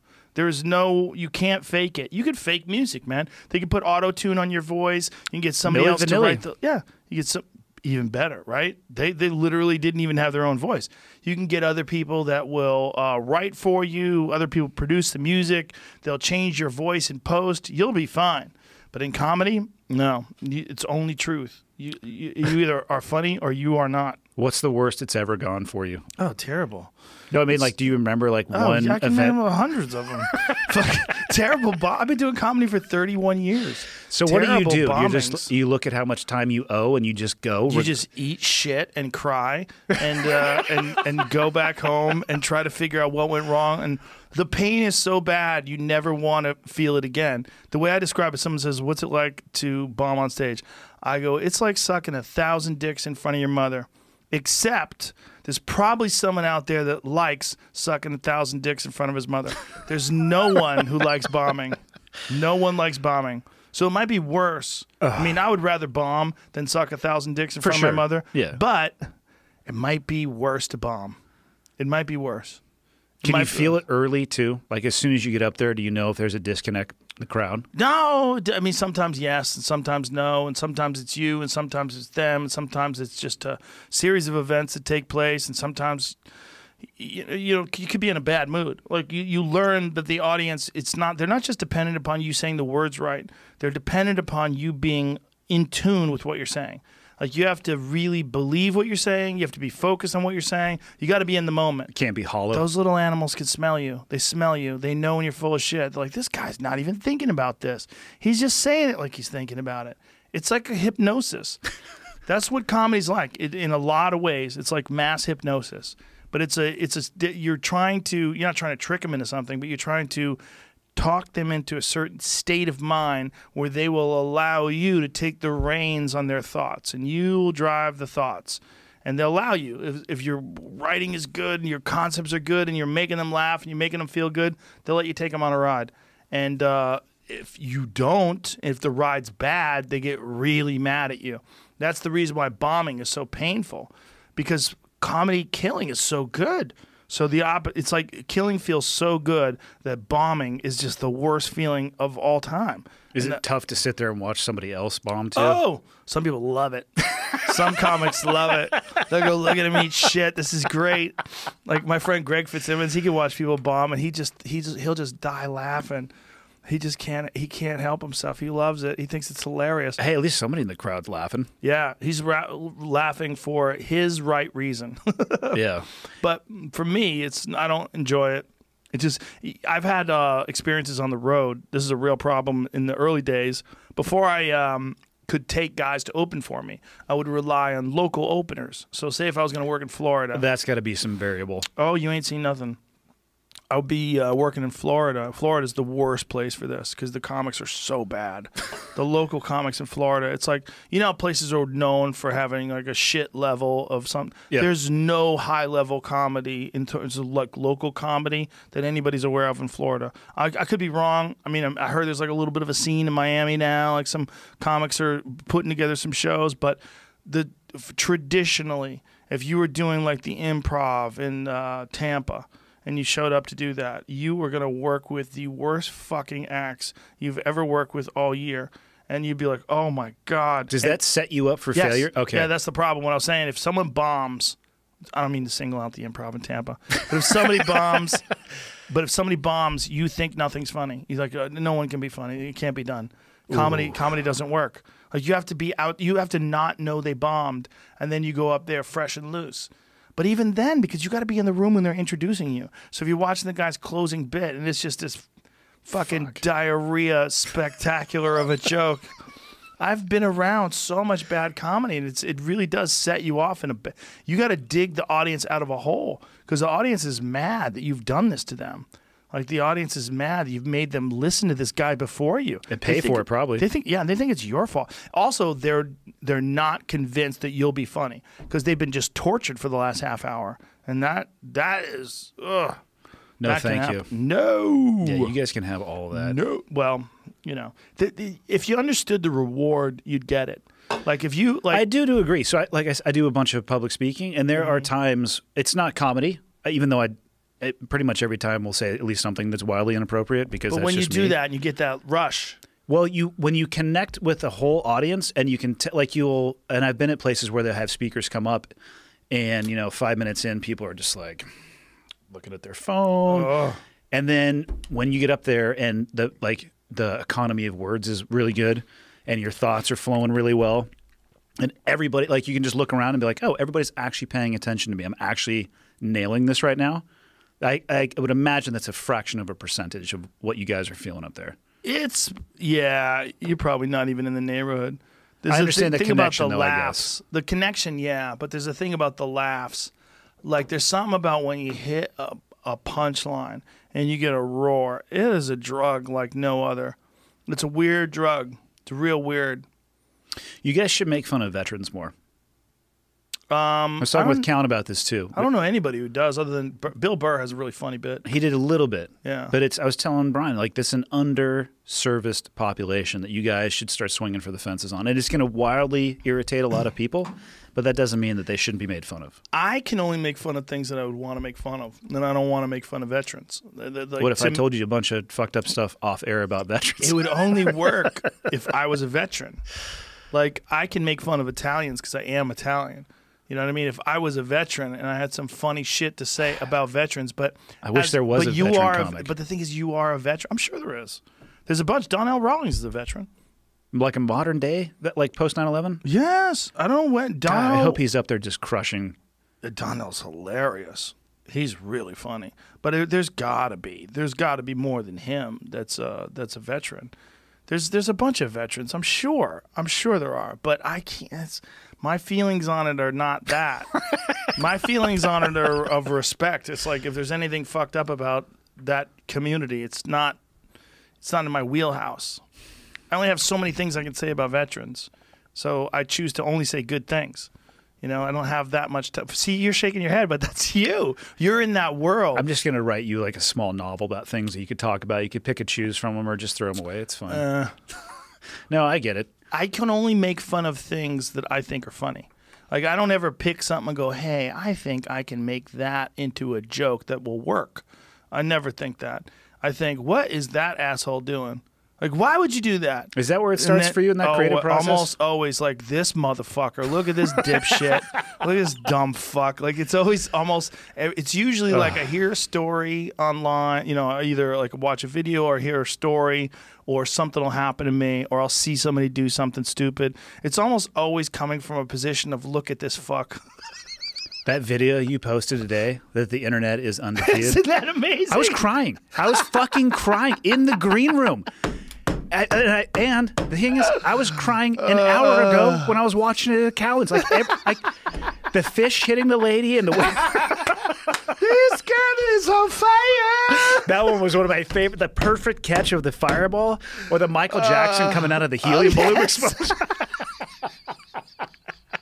the fucking Russian dude with the, the electricity. Oh. when he actually hits the fence. That one took me. That one took me a second. I'm like, what's going on? I'm like, oh, he's dancing to being electrocuted. That's amazing. oh my god, I literally had tears coming down my face multiple times today. I'll go watch it again tonight. I'm gonna do it. It's an amazing video, and the way it's edited, I wish I knew who edited it so I can give him the credit. But the way it's edited, where the girl is walking out of the water and she's looking so sexy and so sleek, and then she, fa- you don't know what's happening, and then when she falls, it begins. Yeah, because it opens with it's a few seconds in before it actually begins. I was like, what did you just post, Joe? And then I was. I had to restart it because I couldn't see through the tears. I was laughing so fuck. The electrocution one, I actually think might be the best. Just, it's amazing. It's amazing. It's an amazing video. I just uh, that's what I love about the online about that. The memes, the just the funny shit that people are creating, like the I tap to pressure. When it, when would you ever have a joke like that that would work on people Yeah. that only do jujitsu? Like if anybody who sees that, like you and I just laugh really hard at that. Yeah. But the average person's like, what does that mean? That's not going to mean anything. Oh, for sure. It won't work at all. Like where it kills Works for us. it doesn't do anything. See, that's but that's also like why I can't make fun of veterans. Like it's not God. it's not in my sense of humor. See, the problem is people don't think what I think is funny is as funny as I do. You say that, but I bet a lot of people do. You just would have to find the people that do. That's the thing about comedy. Like my Instagram comedy takes down would, the shit that I put up that I think is funny. I found two videos of people shooting themselves in the face, looking down the barrel, and Instagram took them. Apparently, it's a violation of some. I have an entire Instagram page where all I do is make fun of people with guns. That's all I do. you have a separate Instagram page? Fuck page? yes, I do. Shh, don't tell anybody. Most people know about it. Uh, your boy Urijah Faber was featured the other day, Was he? Did pointing he a fucking pic- pistol at Michael Bisping's head. Was he really? Yes. Why was he doing that? Because I don't think he knows much about guns. Oh my god. No, He's around a lot of guys who do though, which is weird. you actually were the impetus for the beginning of this page. I was. Uh, two years ago, when I came on and we were making, you asked me what I thought the most accurate uh, military movie was, and I said Navy SEALs. And you're like, no shit. I'm like, no, I'm joking. We made fun of like Sicario for like 20 minutes. I And so that's how you got into it. no, I literally created it's tactical asshole actual. Oh, that's right. So that in the military terms, like if you're on the radio, like every unit has a call sign, but there's an officer in charge, and he could be like, "Hey, Trident two zero actual means the ground force commander is on the horn." So it's tactical asshole actual. I have Steven uh, Steven Seagal is the only person I follow, and the profile image is Charlie Sheen from Navy SEALs with the telemarketer fucking headset. So telemarketer. Did they ever use those in the field? The No, it's an headset? actual telemarketer's headset. So in that movie, he's actually got a telemarketer's headset. Yeah. Do you have any idea that that thing would respond to oh. sweat or water? Oh my God. I get Or wind. probably 50 sub- I don't even have to look for material anymore. I get like 50 submissions a day. So a guy sent me a video of a dude with a rifle in between his legs looking down the barrel like pushing on it and he has he's from a Middle Eastern country. He has one of the little hats on and all of a sudden goes boom and the hat flies off and he falls over. So 2 hours later after I was able to stop fucking laughing and see uh, my phone again, I posted and Instagram disagrees with my sense of humor. Can you send me that video? Oh, I fuck yeah, I'll send you that video. Airdrop me that. I get mad when they take down videos that are awesome. Well, I think it's from it's obviously a complaint. Yeah. But you'd be amazed the stuff that's on that page, like people holding pistols to their eyes and looking down it. I'm not amazed. Oh, dude, it's I'm not amazed. it's unbelievable. And then usually I'll do Steven Seagal Saturdays and just talk shit about that tubby fuck. Do you remember when he had a television show where he was a cop? Uh, so the tactical asshole episode I did with Brian last night, we reviewed some of that. yeah, Steven Seagal, lawman. Yeah. where he's teaching marksmanship and he says like it the sequence opens with him reading from Sun Tzu the five and he's like you know, many officers have a way to get their head straight before going in the field and so do I and he's lighting incense reading from Sun Tzu and then he you know he goes and makes an arrest on a meth head literally is walking up to the guy with his pistol up. He's the only guy. Now, mind you, most of the time when I watch stuff like this, I, I don't watch the individual. I'll watch the people that are around them. who are casually strolling up. All of their guns are holsters, right? Not Mr. Seagal, who's walking with it up and pointing it basically. Down. Yeah, well, he's just like, well, he's, I guess he's like six five, but there was another officer in between the suspect. So he's put it over the officer's head. No, he's just holding it like a fuck stick. Like he doesn't know anything. But he's and then he, there was another one where he was giving an instructional video. Like I just want to pass on these techniques that have made me a master shooter. And I know a guy who worked with him directly for three months. And one of the first things that he did was go to his compound or facility and was doing marksmanship training. And this dude has been on multiple combat deployments. He's like, that's the most dangerous shit I've ever done in my fucking life.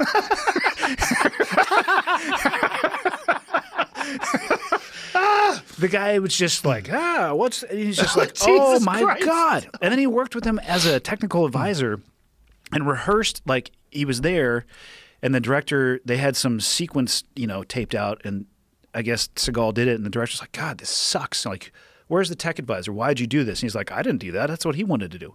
He's like, Well, I'll put together a scene for you. So he works with him, rehearses with him for like four hours he's like doing tactical reloads and a lot of stuff that doesn't exist in most of the movies. And he said as soon as the uh, director said action, he just completely did his own shit and just forgot everything he was supposed to do. He was doing like combat rolls and just like ga ga ga ga ga, and he's just done. And and my buddy Brian's like, "What the fuck, man?" He's like, "I just feel like I had to do it my way."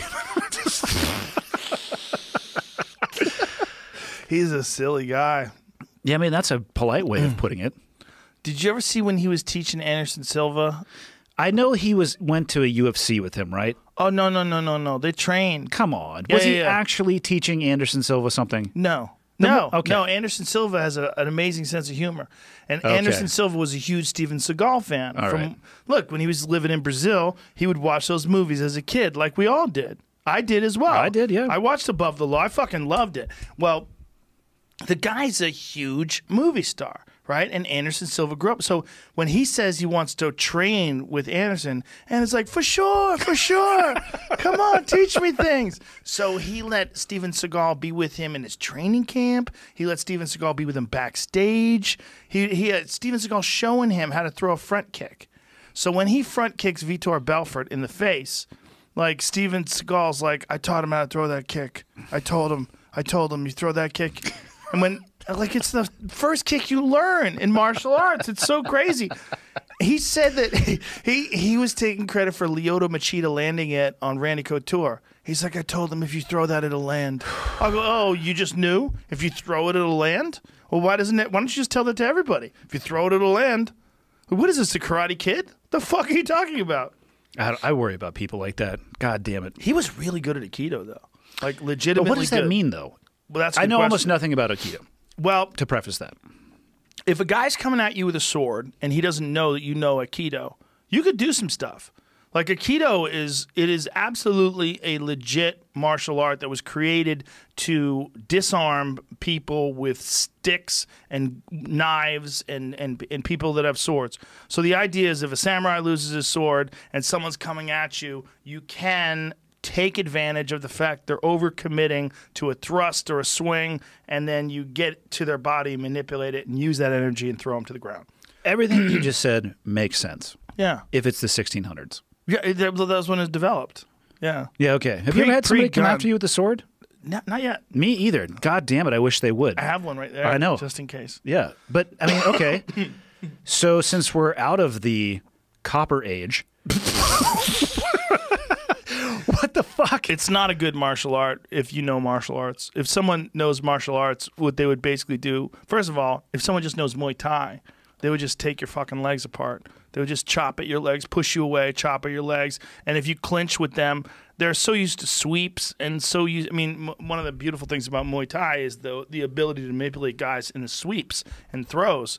So you're not going to get them off with some crazy nonsense where you're going to grab their wrist and bend it Yeah. down and all the shit that he does in the movies won't work on a Muay Thai guy. It definitely won't work on a fucking wrestler. A wrestler, you, you try to let some aikido shit on a wrestler. A wrestler would probably hope that you are a Aikido dude. Oh, so they'd be so happy. They'd, I, I actually talked to a, a Aikido guy about this, and it was the most hilarious thing because one of the things that people would always say, like if you back in the day when I used to go on um, mixed martial arts forums, they would say, uh, "Oh, if he tried that shit on me, I just sidestep him," and it was a joke. And it was a joke because that's what like people that don't know a fucking thing about martial arts think they would do if you came at them. Come at me, bro. I'll just sidestep you. Like because morons have said that. So we would say that as a joke. Should have just sidestepped him. that was like an inside joke. So I'm actually talking to this Aikido guy who's like an Aikido master, and uh, we were talking about wrestling. And I go, well, what would you do if like some college wrestler was was coming after you? He goes, I would just sidestep him. and he was dead serious. And I was like, oh my God, you don't even know what you just did. I was laughing so hard. And he was like, what is so funny? I go, you don't even know what you just did. What you just did is what everybody who is hopelessly lost in an actual altercation says before an altercation. I'll just sidestep him. No, you wouldn't. No, you wouldn't. You don't think you could change change fucking angles that he attacks at? You are helpless if an NCAA All American Oh, God. grabs a hold Gets of his you. mitts on you. Oh my! God, you didn't have experienced that kind of physical fucking strength and and the ability to manipulate bodies Or way- the speed with which they oh, move. Oh, Jesus! Especially some real elite, top of the food chain, Jordan Burroughs type character. Like, good lord, some Mark Schultz in his prime, just g- grab a hold of you and drive you through the fucking China, right through the core of the earth. I almost think that if you have that background, you need to wear a sign around your neck. well, you almost see it on them. But like you know, you'll see. I've heard horror stories of people starting jujitsu with that background, and they show up there a wipeout, but they got crazy cauliflower ears, and people are like, "What's going on over there?" Yeah. you need to wear a sign. Well, they feel like wood. Like that's the thing. Like you start rolling with a guy like that. Like, what are you made out of wood? Like they they they're so fucking dense. Like the the kind of muscles that you get from manipulating bodies your whole life. And some of these fuckheads have been in like wrestling camp when they're five, Yeah. and here they are on their twenty four, and they're like, oh, I think I'm gonna start going in and make, trying out jujitsu. Their their neck starts at the top of their head and goes down at a forty degree angle. They grab a hold of you, and it's like, I guess when you, you're done with that, I'd like to have it back. yeah, what? So when's the UFC coming back? Well, we have a fight next weekend. I'm flying to Jacksonville. Is this on that? Oh no, it was going to be on some mysterious island, right? That idea got. Supposedly that island's real. all right, No, they, but it's not being- going to happen there, right? Not this card. The island is for international cards. Will there be an audience at the one you're going to? No. How do you think that? Cam Cam Hanes wanted to come with me, and I was trying to get him to come with me. He could not come. They would not let him come with me. Really? Mm-hmm. they have to limit the amount of people in the arena. they have to uh, limit the uh, amount of people in the corners. Um, I'm going to be doing it with Daniel Cormier, the commentary, and Jon Anik, and I don't even think we could be anywhere near each other. Can you be near the ring? Yes, I'm Okay. going to be right next to it. Oh, but they might put you guys on Yes. different sides. We'll probably, you know, it's an octagon, so we'll probably be in, in different sides of the eight eight corners. How do you think that'll be for the fighters? I mean, I, I having never Weird, Yeah, don't you think? That, I mean, do they feed? Do you feel them feeding off of the crowd, or for sure. Yeah, Although the uh, last event that they did, they did like that from Brazil, from Brasilia, Brazil. That was the Charles Oliveira um, Kevin Lee fight, and there was no crowd. It was very interesting. yeah. That's got to be a surreal experience for those guys. Yeah. Actually, I think I saw a clip of that. You could hear the uh, the mat of the octagon much more than you normally would. Yeah, you hear everything. You hear everything. You hear the the, the corners. You hear all the instruction. And Gilbert Burns knocked out uh, Demian Maia, and when he knocked out Demian Maia, he's yelling in an empty arena, "Poo-ha! Poo-ha!" just screaming out. And it's like, wow, that's so weird. It's so weird to hear him yell that out and and echo through this empty arena. I wonder how long it'll be before they will let people back in there. Depends on where, and it depends on what happens right now with Georgia, because Georgia's opening shit back up. It depends what happens in Florida. I'd say you guys could come to Montana, but I don't think there's any arenas. Well, do we really need an arena? I mean, if we can get a 2,000 seat theater and put an octagon in a theater, it'd be great. I don't have, know if there's. I mean, I don't know about the theater scene in Montana, but I don't. I don't think there's a 2,000 seat theater there. I think there is in Billings. Billings, the big city. Oh, Man, I had this conversation not too long ago. What's the biggest city? I think it is. It's it's either Billings or Missoula. Oh, so Bozeman's third. Is Bozeman third place? The the largest cities that I know of are Billings, Bozeman, Butte, Helena, Missoula, Kalispell, and Whitefish. Those And are I think Billings is the big one. it might be. I think. But big one, I mean, in relative terms, we're talking about the population of probably three square blocks from where we're sitting right now. Yeah, there's a million people in the whole state, right? Let's not undersell it. There's 1,007,000 people. Oh, right. seven extra thousand. We're getting up there. It's getting big. And I'm not allowed to say that because, like I said, I'm a Cali transplant. So Mm. Yeah, you can't. Do they accept you? How many years you have to be there before you're? uh, 40, I think. Do you have a, a, a Montana license plate in your car? Oh, yeah. Montana license plate, Montana license. That was the first thing I did because it was the gateway to my concealed carry permit. Oh, Six months of residence. And, uh, you know, the laws are different with guns up there. You can, uh, purchase takes about five minutes. Mm. Then you leave with it. really? Yeah. Interesting. Same day. Yeah. Well, they kept all the gun stores open um, during all this here and there. What are your thoughts on the number of people standing in line for guns who weeks before would have probably had an issue with the Second Amendment? Fucking hilarious. Yeah. It was hilarious having conversations with my own friends about it. Where all of a sudden, my, my friend Alonzo Bodden, who was just here before, never had a gun in his life. Now he has two. Bought them because of this. And he goes, Well, what happened to me was the purge went from being a movie to a fucking reality show. And I'm like, All right, I get it. Problem is the old waiting period. Well, also the problem is they were all talking shit about guns just before that. Did he buy ammo with the gun? I believe he did. He bought a hope so. 45. Excuse me. He bought a 45 and he bought, I don't have the COVID, by the way, I've been tested. That's a marijuana. Seasonal cough. allergies and cold still exist. That's another one I That get. yeah. So does the flu. yeah. They don't take, but this is just uh, marijuana. Um, uh, I think this is my, my take on it is. I think it's good that people realize that there's a thin layer to this civilization thing, and that it can be punctured really quickly. And so when all those people were in line waiting for guns, I was like, okay, maybe maybe we won't have to hear too much stupid shit from people that are generally generally left leaning about how you don't need guns anymore. I don't want to hear that shit because now that I see these lines, I know a lot of you fucks are Democrats. In fact, one of my best friends who's about as liberal as can be, and his wife is a fucking super hippie. She's like, "You're never bringing a gun into this house." Boom, the shit goes down. Get a gun. You need to get a gun. She tells him to get a gun immediately. Yeah, but does he know how to use it? oh, he doesn't know a fucking thing about it. That is actually probably more unsafe than Yeah. you know, like that's guns. I t- Well, actually, let me say something. He shot guns when he was a kid. That that's a. this- I'm thinking of a different guy. He definitely shot guns when he was a kid, so he knows a little bit about how Yeah. to use a gun.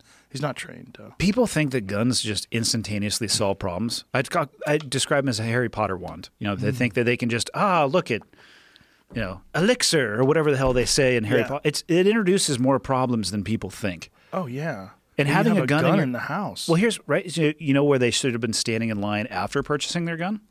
At the store that sells the safe.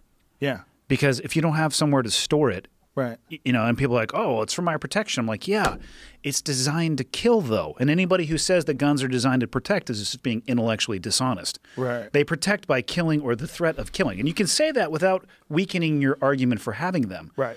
But maybe treat it like that. Yeah, but the way you're saying it scares people that don't like reality. I don't know how to say it any other way. You shouldn't. You shouldn't. That's part of your appeal.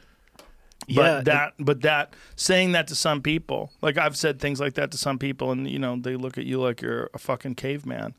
But I already have that problem anyway. You know, it's like you, it is what it is.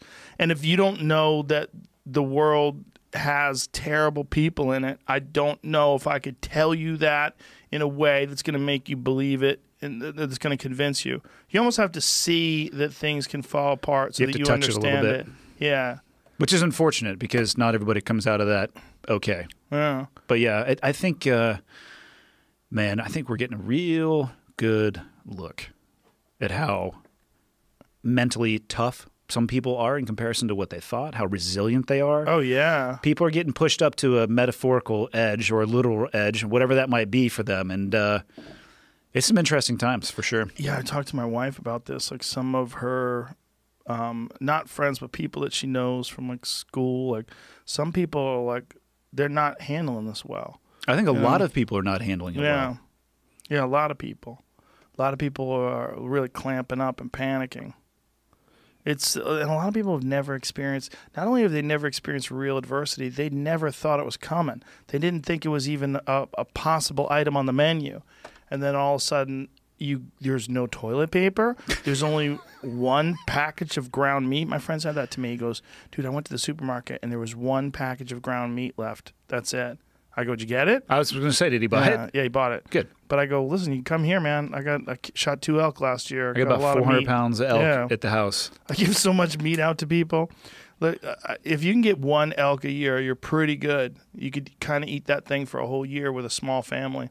Oh, for sure. Yeah. It's where I live. So I live south of Kalispell by a bit. I live. My house is on 20 acres that overlooks that lake that I take pictures That's of. That's so nice. Well, I just chopped down a bunch of trees too to improve the view, but I have I have everything that I need out there, so I don't need to actually go into town to experience a lot of what's going on. It's very bizarre to sit there and think about where I am and how things are going for me.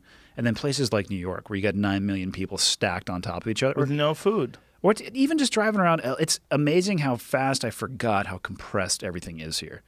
And how preposterous it is. Oh, for When- sure. Whenever I go somewhere that's not preposterous, and then I come here, and I'm like, what am I doing? I think ultimately, that I'll, I'll definitely bail. Would you bail full time or part time? ultimately full time. But part time, like I could just keep my house or keep apartment or something like that here. for I mean, if I ever needed to come here for business reasons, this is all dependent upon what happens with stand up comedy, because this state is so goofy. Like this, the governor got shot down. He was trying to shut all the beaches down, and he was trying to, but he got shot down today. And I, we were talking about that earlier. That they were Well, all they're flirting with people legitimately protesting and probably, you know, just saying, no, fuck you, we're going to do what we're going to do. they're flirting with violating the Constitution. I mean, that's also what they're doing. Yeah. You know, it's like you're denying people the choice. You're saying that you know better, and I don't think you do. And and I, and I also think that what you're saying doesn't line up with the statistics. If you look at the statistics of what is what is the percentage of people that are dying that get it, and it is very small. It's still awful that people die. It's still terrible if it's your grandma. We still have to protect the sick. We still have to protect the weak. We still have to protect the old. However, you can't tell me what to do. And you, you- you're not my dad, and you're not the emperor. You're a fucking governor. And so, if you think you could tell people they can't go to the beach when they're 10 feet apart from each other, you think some magical fucking property is going to allow all these people to get sick and bring it home and transfer it. You're saying that they're not smart enough to do that. But yet, you're also saying they're, they're, they're smart enough to drive. They're responsible enough to drive and drink and do all these different Own things. guns. And own guns, but they're not responsible enough to sit down on the beach 10, 10 feet apart from their neighbor. I don't think you know what the fuck you're talking about. I don't like it. I don't like it, and I'm not buying into any of this tracking shit. If they come into this fucking this this tracking software they're talking about, where they're they're you know you're COVID free, we just need to mark your phone. You bring it everywhere you go, and every time you come to a checkpoint, bring your phone. Like fuck you know they you. already have the ability to do that, right? They have the ability to do that, but widespread implementation of it will not be accepted. It'll only be accepted if you can have some fucking reason. You're like such a sweetheart, COVID. Joe. You're such a sweetheart. You think it'll be accepted? I think they've been doing it for years. That's not what I mean. I mean, if you I make think people been- bring their phone everywhere, You don't, have to. You don't even have to make people bring their phone. They're go- they're addicted to it anyway. And I think the stuff Right, but you don't have to. Here's the thing: there's a big thing Oh, between being addicted and have to. In China, you have to bring your phone everywhere. If you Yeah. do not bring your phone everywhere and show that you're clear, you're not getting in anywhere. They're talking about implementing a similar strategy here. They're also talking about how they did that in South Korea. And South Korea said, we are going to give up some of our rights and some of our privacy in order to protect ourselves. I say, fuck you. Yeah, I didn't know that they were going to force people to bring their phones. What I was, my point was, they've had the ability, and I bet you they have been accessing data from people's devices like that, the connection, the proximity, all the stuff that the sensors are able to do on the phone for a long time. I'm sure they have. I'm Yeah. sure they have. I'm sure they probably, with the testing, there's probably some way they could eh, eh, flip a switch and, and put some information into a database and they'd know who's got it and who doesn't and where they are and where they're going. Hey, this guy turned positive and look, his fucking phone is all the way over here in downtown LA when he lives in Pasadena. How is this how is this happening? Yeah. That's that's possible. The news is tripping people too. I watch people who are obsessed over that uh, the coronavirus pandemic tracker on like Fox News. It lists the number of cases, but and but people will watch it And I and I want to scream at them like, "Do you understand that the information that comes in informs how you behave and how you think of the world?" And like ninety percent of the shit that you're looking at is negative. It's negative this, negative that, negative this, negative that, and it's not helping you make any decisions. And by the way, that number's never going to go down. Can we agree on that? It's going to keep getting bigger and bigger and bigger. How is that helping you live your life? And you look at these fucking models, like Dr. Peter Attia, I know you know him Yeah. wrote a blog post. It basically reframed how he felt like a month ago, and he in it he broke down the math that they're using for these projections, Mm -hmm. and in he changed one of the digits by a tenth of a percent, and it was changing the outcome by millions, and they're not even sure where the actual integer is for that. I think it was the number of people that a sick person can potentially infect. It's like 2.3 or something like that. If you put it at like 2.4, it increases it by like 2 to 3x. If you put it at 0.1 less, it dra- like so these models are like a shotgun blast oh, all over the place and nobody knows because I don't think we know. No, I don't think we know either. And what we do know is that there's way more people that have been infected than they ever previously thought. Yeah. And that's what they're finding out from these antibody tests. When they're like, oh my God, this is way more prevalent. We didn't really stop it at all. And it turns out a lot of people get it and nothing happens. A lot, like more than half, get it Yeah. and they don't even have a symptom, which is so weird. That is bizarre. It's the weirdest fucking disease ever. Is it a disease or a virus? I was It's a actu- virus. Okay. Yeah. Does But it turn into a disease? I mean, I guess pneumonia is a disease, right? I don't know. I, I had heard people pneumonia. talking about that in both terms. I didn't know which was actually the correct. Well, heart disease and lung disease have most certainly come from this. There's people that have developed heart disease because of this, heart attacks because of this, a lot of strokes. It's weird. It, it's so different in different people. Yeah. Um, and different with different blood types. You know? I don't Montana is not sucking during this time. The color on the map of Montana is good. Yeah. Like all the hot spots. yeah. There, there's, it's certainly, it's even in the Flathead Valley. I think they said there was 50 cases. That's hilarious. Yeah, I think there's been four. Everybody walked it off and kept farming. They're like, ah, I don't feel well. Got to go uh, feed the horses. Yeah. Man, that's the life. That's the life that everybody like what the way you when you show those pictures off your back balcony, that is uh that's what everybody wants. Everybody wants that house by a lake. That really is the life. Cuz if you can get that like every day, like everything else would be better. If you're if you're in a fucking apartment, you're looking out into a parking lot and there's a car with no tire and fucking some bums yelling at another bum and that's your life, that's not as good. Unless you're an incredibly social person. It works well for me because social distancing is one of my favorite activities. Yeah, but you're social too. I'm social to the just people. not social with assholes. I yeah. Well, I think almost everybody's an asshole. So I'm only Well, you like me. yeah, I but you're like not you an too. asshole. Well, there you go. My- See? Just I, have heard it described. I'd rather be a, a mi- I'll be a mile deep rather than an inch. Or how's it? Uh, I'm deeper rather than wide when it comes to my friends. yeah, that's that's a good way to put So it. So I have a small group of people that I, I definitely enjoy being social with, but I also would not m- mind ever not talking to anybody other than those people. I'd be okay. But I know people the opposite of that. They need like 50x the social interaction that I do. You're also a person who has these people in your life, in your circle, that you guys have this one unusual thing in common with. Like, of course, you have your jiu-jitsu people. That is very unusual world. You have your wingsuit people, very unusual Normal world. Normal. It's the term we use. and you have the seal people very unusual world so like the circles that you travel in also those three circles are all filled with extraordinary human beings like you, you can't be a normal person and be a seal you can't be a normal person and be a, a wingsuit world record holder you can't be a normal person excel at jiu-jitsu most people quit they're not interested in getting their fucking neck strangled and their arms stretched and their fucking knee brought behind their back and fuck that they quit I'd say you can be normal in all of those, but the farther you go, the more it deselects for assholes. Yes, yes. Deselects for people with flaws. Deselects for people that have a distorted perception of reality. Deselect for people who can't learn.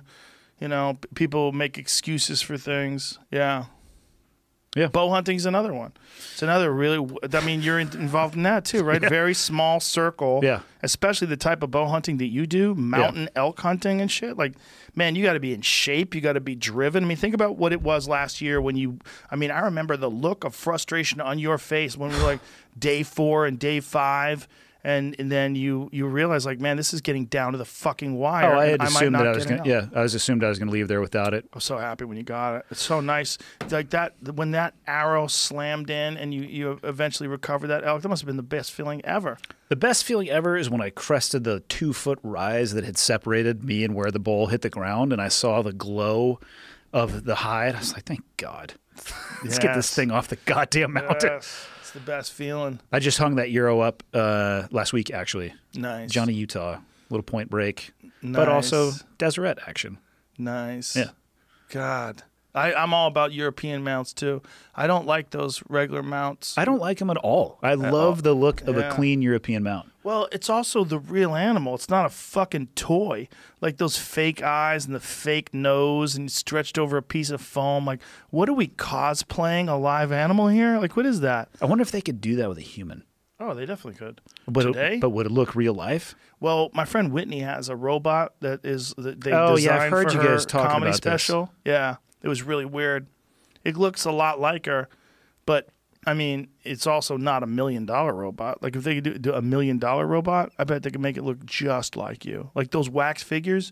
You ever been to one of those wax museums where Only they, seen it from pictures. they can make it look so much like the person? It's bizarre. Like it takes a little bit of time to look at the picture and determine who's real and who's not. Yeah. Yeah. They could do that with you. I would just want to fuck with people, man. That'd be Yeah. the perfect opportunity to scare the shit out of people. Well, if you were the type of person that, uh, yeah, yeah. I mean, I mean, I think in the future there's going to be no stopping people from making artificial people. There's going to be a version of you hanging around that's not you. Well, I, I'm I'm 100 percent convinced of that. Like, in our lifetime, you think? yes, imagine. listen to this. Imagine if you're married to a gal and uh, you think she's hot, but she's annoying, and so uh, you have her constructed. You have a robot version of her. You break up with her and you keep fucking the robot that looks exactly like her. I mean, exact. Feels like her, but it's really nice. It's really sweet. And whatever you say, Andy. I love you, Andy. And she's like, You can't do that, you fuck. And you're like, What are you talking about? This is art. Uh, uh, You should take it as a compliment. Look, we're not compatible personality wise, but I love to fuck your robot. So I bought the robot. You know, kick sand. This is a fucking free country. You're deep down in a mental rabbit hole that I never probably would have gone down myself. But How many celebrities are gonna have robots Oh, of them out there? fuck. The guys are just oh. mouth fucking all day.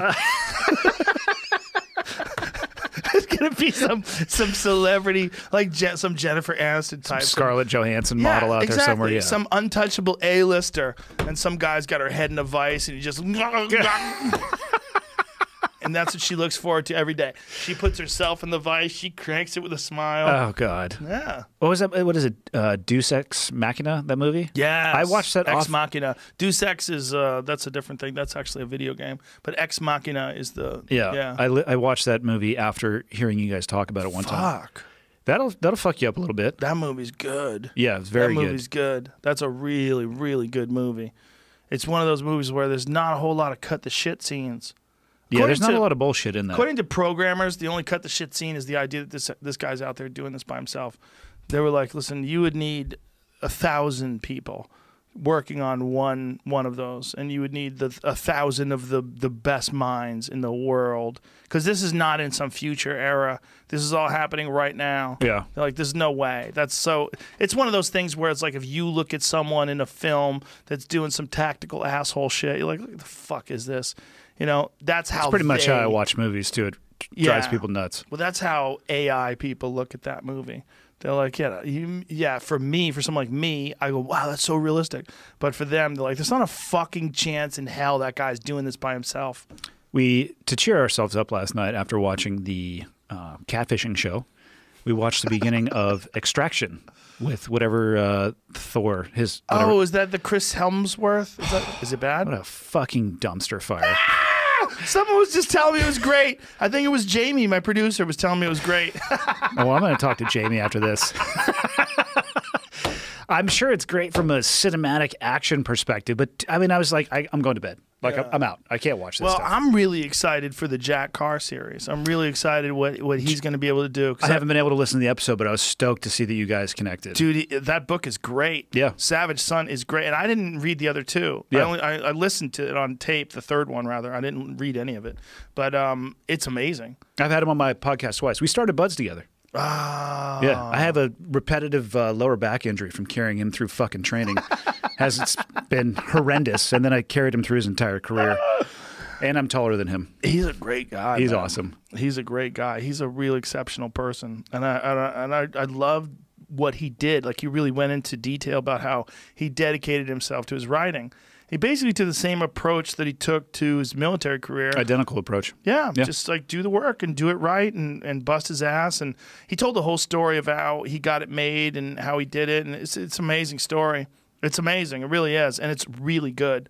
I mean, I'm not just saying that because I love the guy and I think he's awesome. It's Yep. a fucking great book. I've read it too, and uh, I, both times talking on the time I've had him on my podcast, he's like, I wanted to be two things in life: a seal and an author. And all he did was put his nose to the grindstone.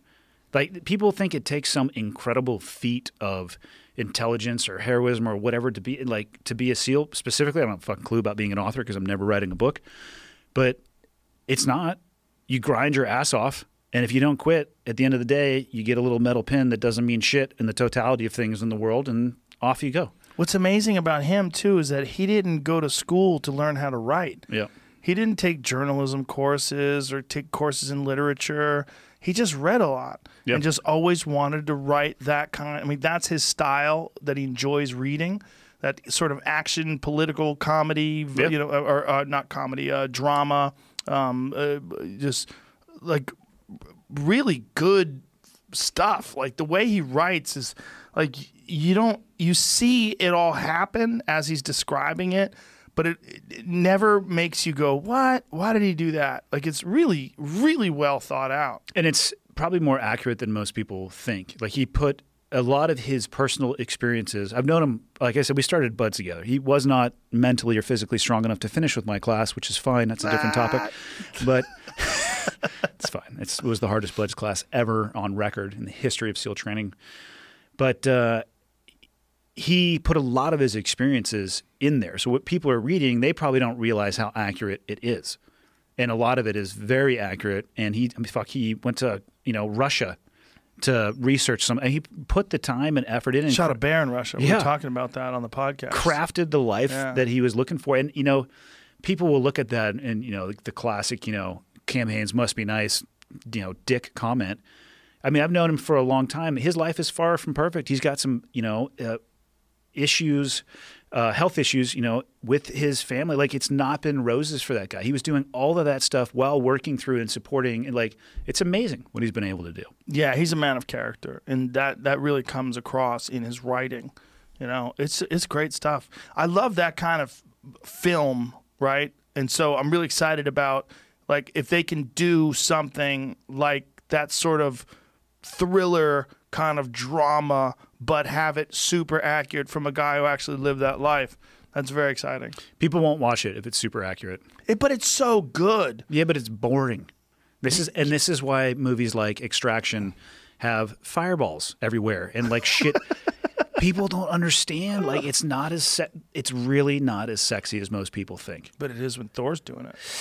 Yeah, but he didn't have his hammer, so it's kind of weak shit. You know what I mean? And it no was hammer. Oh god, it was oh, Did so he dress bad. goofy too? Yeah, he was wearing like fucking elbow pads from the 1970s. You know, Vietnam called and wanted his camo fucking pants back. Elbow pads. Oh yeah, detachable knee and elbow pads. It's like, dude, they've made clothing that have those in bed. Even the Sitka pants have. It's like, come on. Yeah. He's supposed to be some high speed operator, and the reality is, like, if you if you sharpen that blade enough, we would go. You go on target, and you don't say a word. There's no noises made. It's it's it's so eerily quiet, and it sucks because when we're training, we do force on force drills, and you're in there with your buddies doing that shit against you, and all you can hear is like a little scurry. It's worse than when they breach the doors and like using like diversionary devices. It's fucking terrible. What's less realistic, that or Steven Seagal Lawman? What's less realistic? Yeah. In, uh, between extraction. Between Extraction or Steven Seagal Lawman? Well, I mean, isn't Steven Seagal lawman fiction in and of itself? Like it's a comedy, right? Nope. He actually got a job as a police officer. He was a police officer in Louisiana, and See, he maybe that even- guy had an Anderson Silva sense of humor, though. He's like, "Fuck yeah, we'll make you a cop."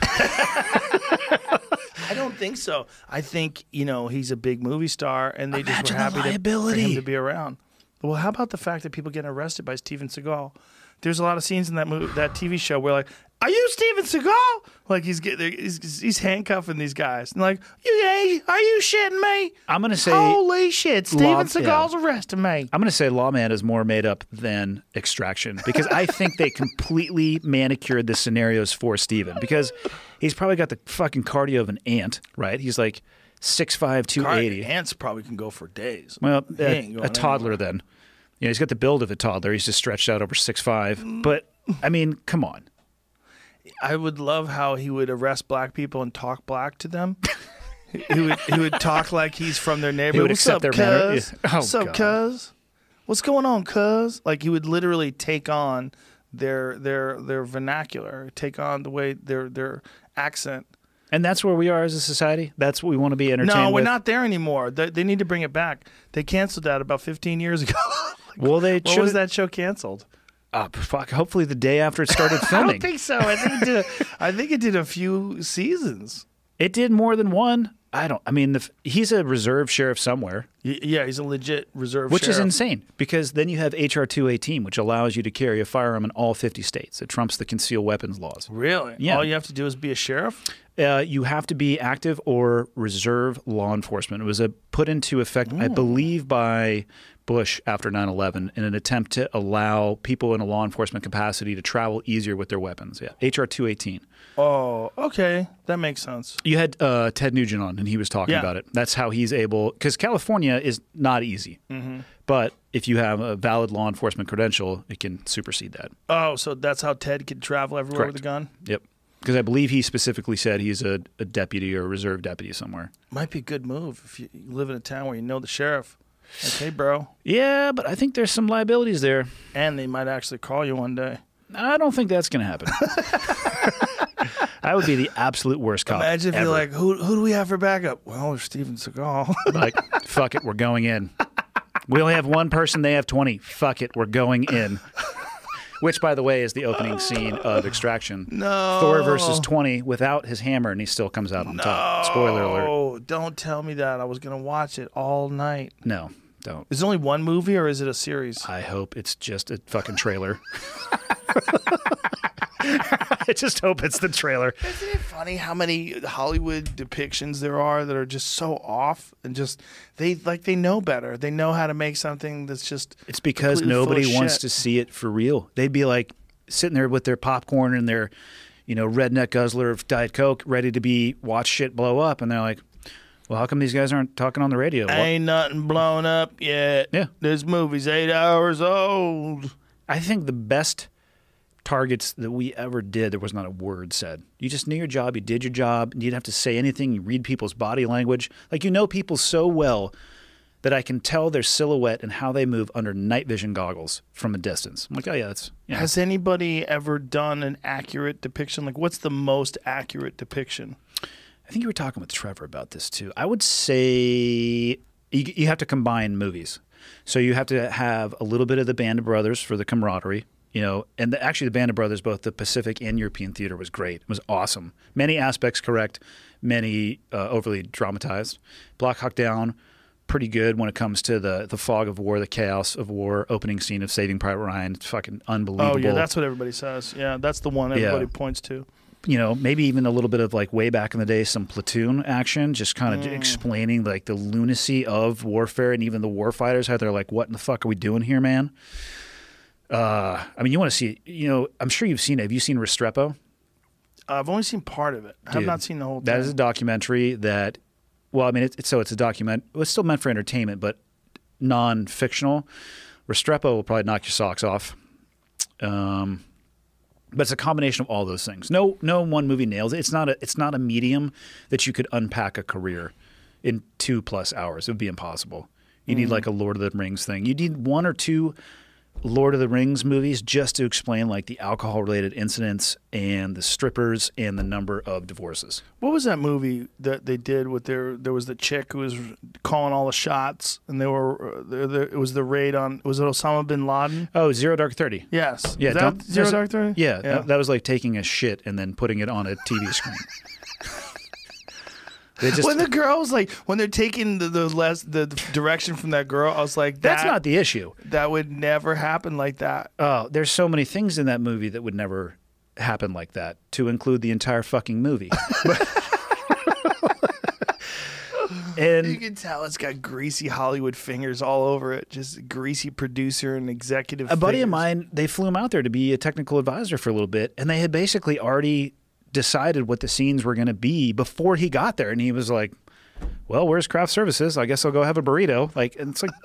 I, you have a good day to work with these guys. Like, you just do whatever the fuck you want to do. Nobody's going to know. Oh, that's funny. Yeah, and, and so I know a bunch of guys who were there that night, and, and you, you talk to them, they're like, it was like any other target. They could. It's just they. It's it was nothing out of the ordinary. It was like we planned for it, we executed the plan. Guess what? We crashed a helicopter, but we had planned for that too. So they executed the contingency plan, and went about their day. Makes sense. Yeah. Yeah, I don't. I can't imagine how they would get it right unless everyone involved, including the executives, the pe- the people that are going to make the calls as far as like how much money gets spent or what gets approved. Everyone would have to either be hundred percent on board with what the veterans say, or give all those jobs, producer, director, writer, all those jobs be veterans. That would be a terrible movie. We are not qualified for any of those. You say that, but if everyone's a Jack Carr, right? If there's a Jack Carr director, if there's a Jack Carr screenwriter, they're like everyone of that ilk. But I think what you would find is that everybody has their. If there was 30 people on target, you're actually going to get 30 versions of a story. There are going to be points where guys who are very experienced, and I, I make the point of saying they're experienced because your recollection of what happens increases as you spend time in that pond. Hmm. So guys who are very experienced, they're not getting emotionally attached to anything that's happening or their decision making or that stuff, and they have the ability to uptake, process, deliver, and remember things that happen. You'll get into debriefs and you're like, no, that's not what happened. It wasn't that corner, it was a different corner. And so everybody has their own little version of what actually occurred. It'd be really difficult to do. Yeah, I can only imagine. Yeah, I mean, Hollywood doesn't get anything right that doesn't have to do with like movie making. Like, if they do a movie about making movies, they'll probably get it pretty accurate.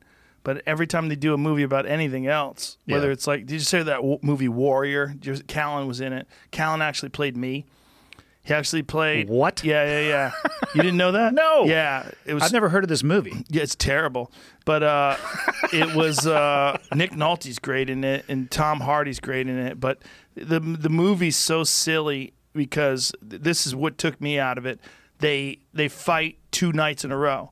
They fight and then they, they, they fight again the next day. I'm like, do you have any idea what the fuck you would look like if you fought and then tried to fight again? Your whole head would be swollen. Yeah. You wouldn't be able to walk. You ever see those? I would run into those guys in the morning on the way to the airport and they'd have sunglasses on, and the sunglasses would be sitting a full inch off of their face Swelling. because everything is swollen. And so that's so common. You get on a plane with the guys that have fought the night before, and they're just so banged up. The idea of them fighting that day again is so fucking ridiculous. Why don't they just stay in a hotel room for a few days and chill?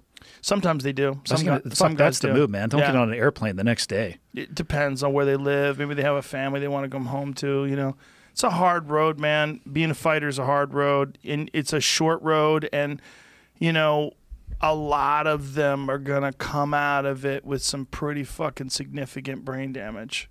You know, there's a, a good number of those guys who are gonna come out of it, and they're not gonna know how to talk right anymore.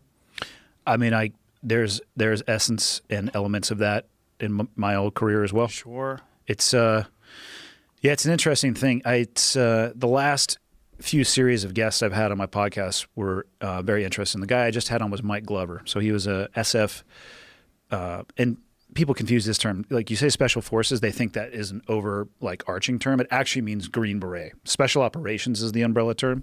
So he was an SF guy and got out and contracted for the agency. Nobody ever really calls it the agency. They just say OGA, other government agencies. And we talked for three hours about war and killing people. And, you know, he brought up, we, we went deeper on the topic than I've ever gone before. And the week before that, I had Lieutenant Colonel Grossman on, who wrote the books on combat and on killing. And I have a philosophical disagreement with the points that he makes in his books, largely, at least on specific things. And it's interesting because he was an academic. He was in the military for a career, but never touched combat, which is totally fine. I don't say that pejoratively at all. But he wrote a book and became um, a professor at West Point, teaching uh, largely the psychology of killing and the after effects. And it's crazy because And never have done Never- it. I never. No, he never. He never experienced combat. So I, it's, but it's interesting because he gets some of it right, and then some of the things I have a very, very deep phil- philosophical disagreement, and it's the same thing with the movies, right? You gotta, Yeah. they get some of it right, and then you're like, for the love of God, why did you just put that in there? Right. But it was a crazy balance of having those two guests back to back. The conversations were very, very different. I can only imagine. I'm gonna listen. I, I listen to your podcast all the time.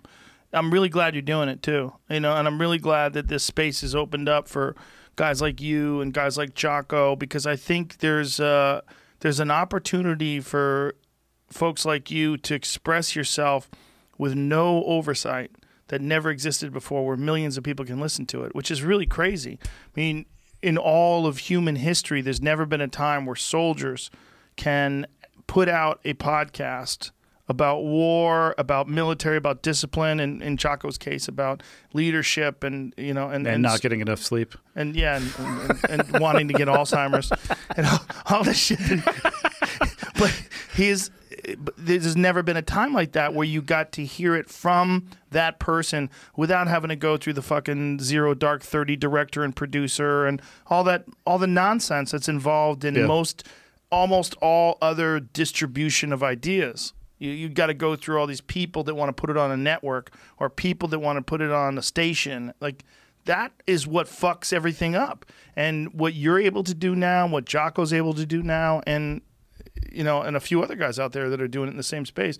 You're able to do these podcasts and talk to these people with no one looking over your shoulder, no one telling you, okay, let's stop right here. No one, let's try that again, Andy. I think the way you said it was wrong, or there's no no no fuckery. Yeah. You know, it's it's amazing. it's uh it's been an interesting journey. I think I've been at it now for two, maybe like just over two and a half years. But when you first suggested, I was like, eh, I mean, I- I'm like, well, I'm like, okay, Joe's like pretty good at podcasting. It might might probably take a little bit of that advice, but I had no idea where I was going to go with it, and I still don't. And it's one of the most favorite things. It's one of the most fun things that I do. Well, you could tell that. That's why it's so good. You could tell you enjoy doing it.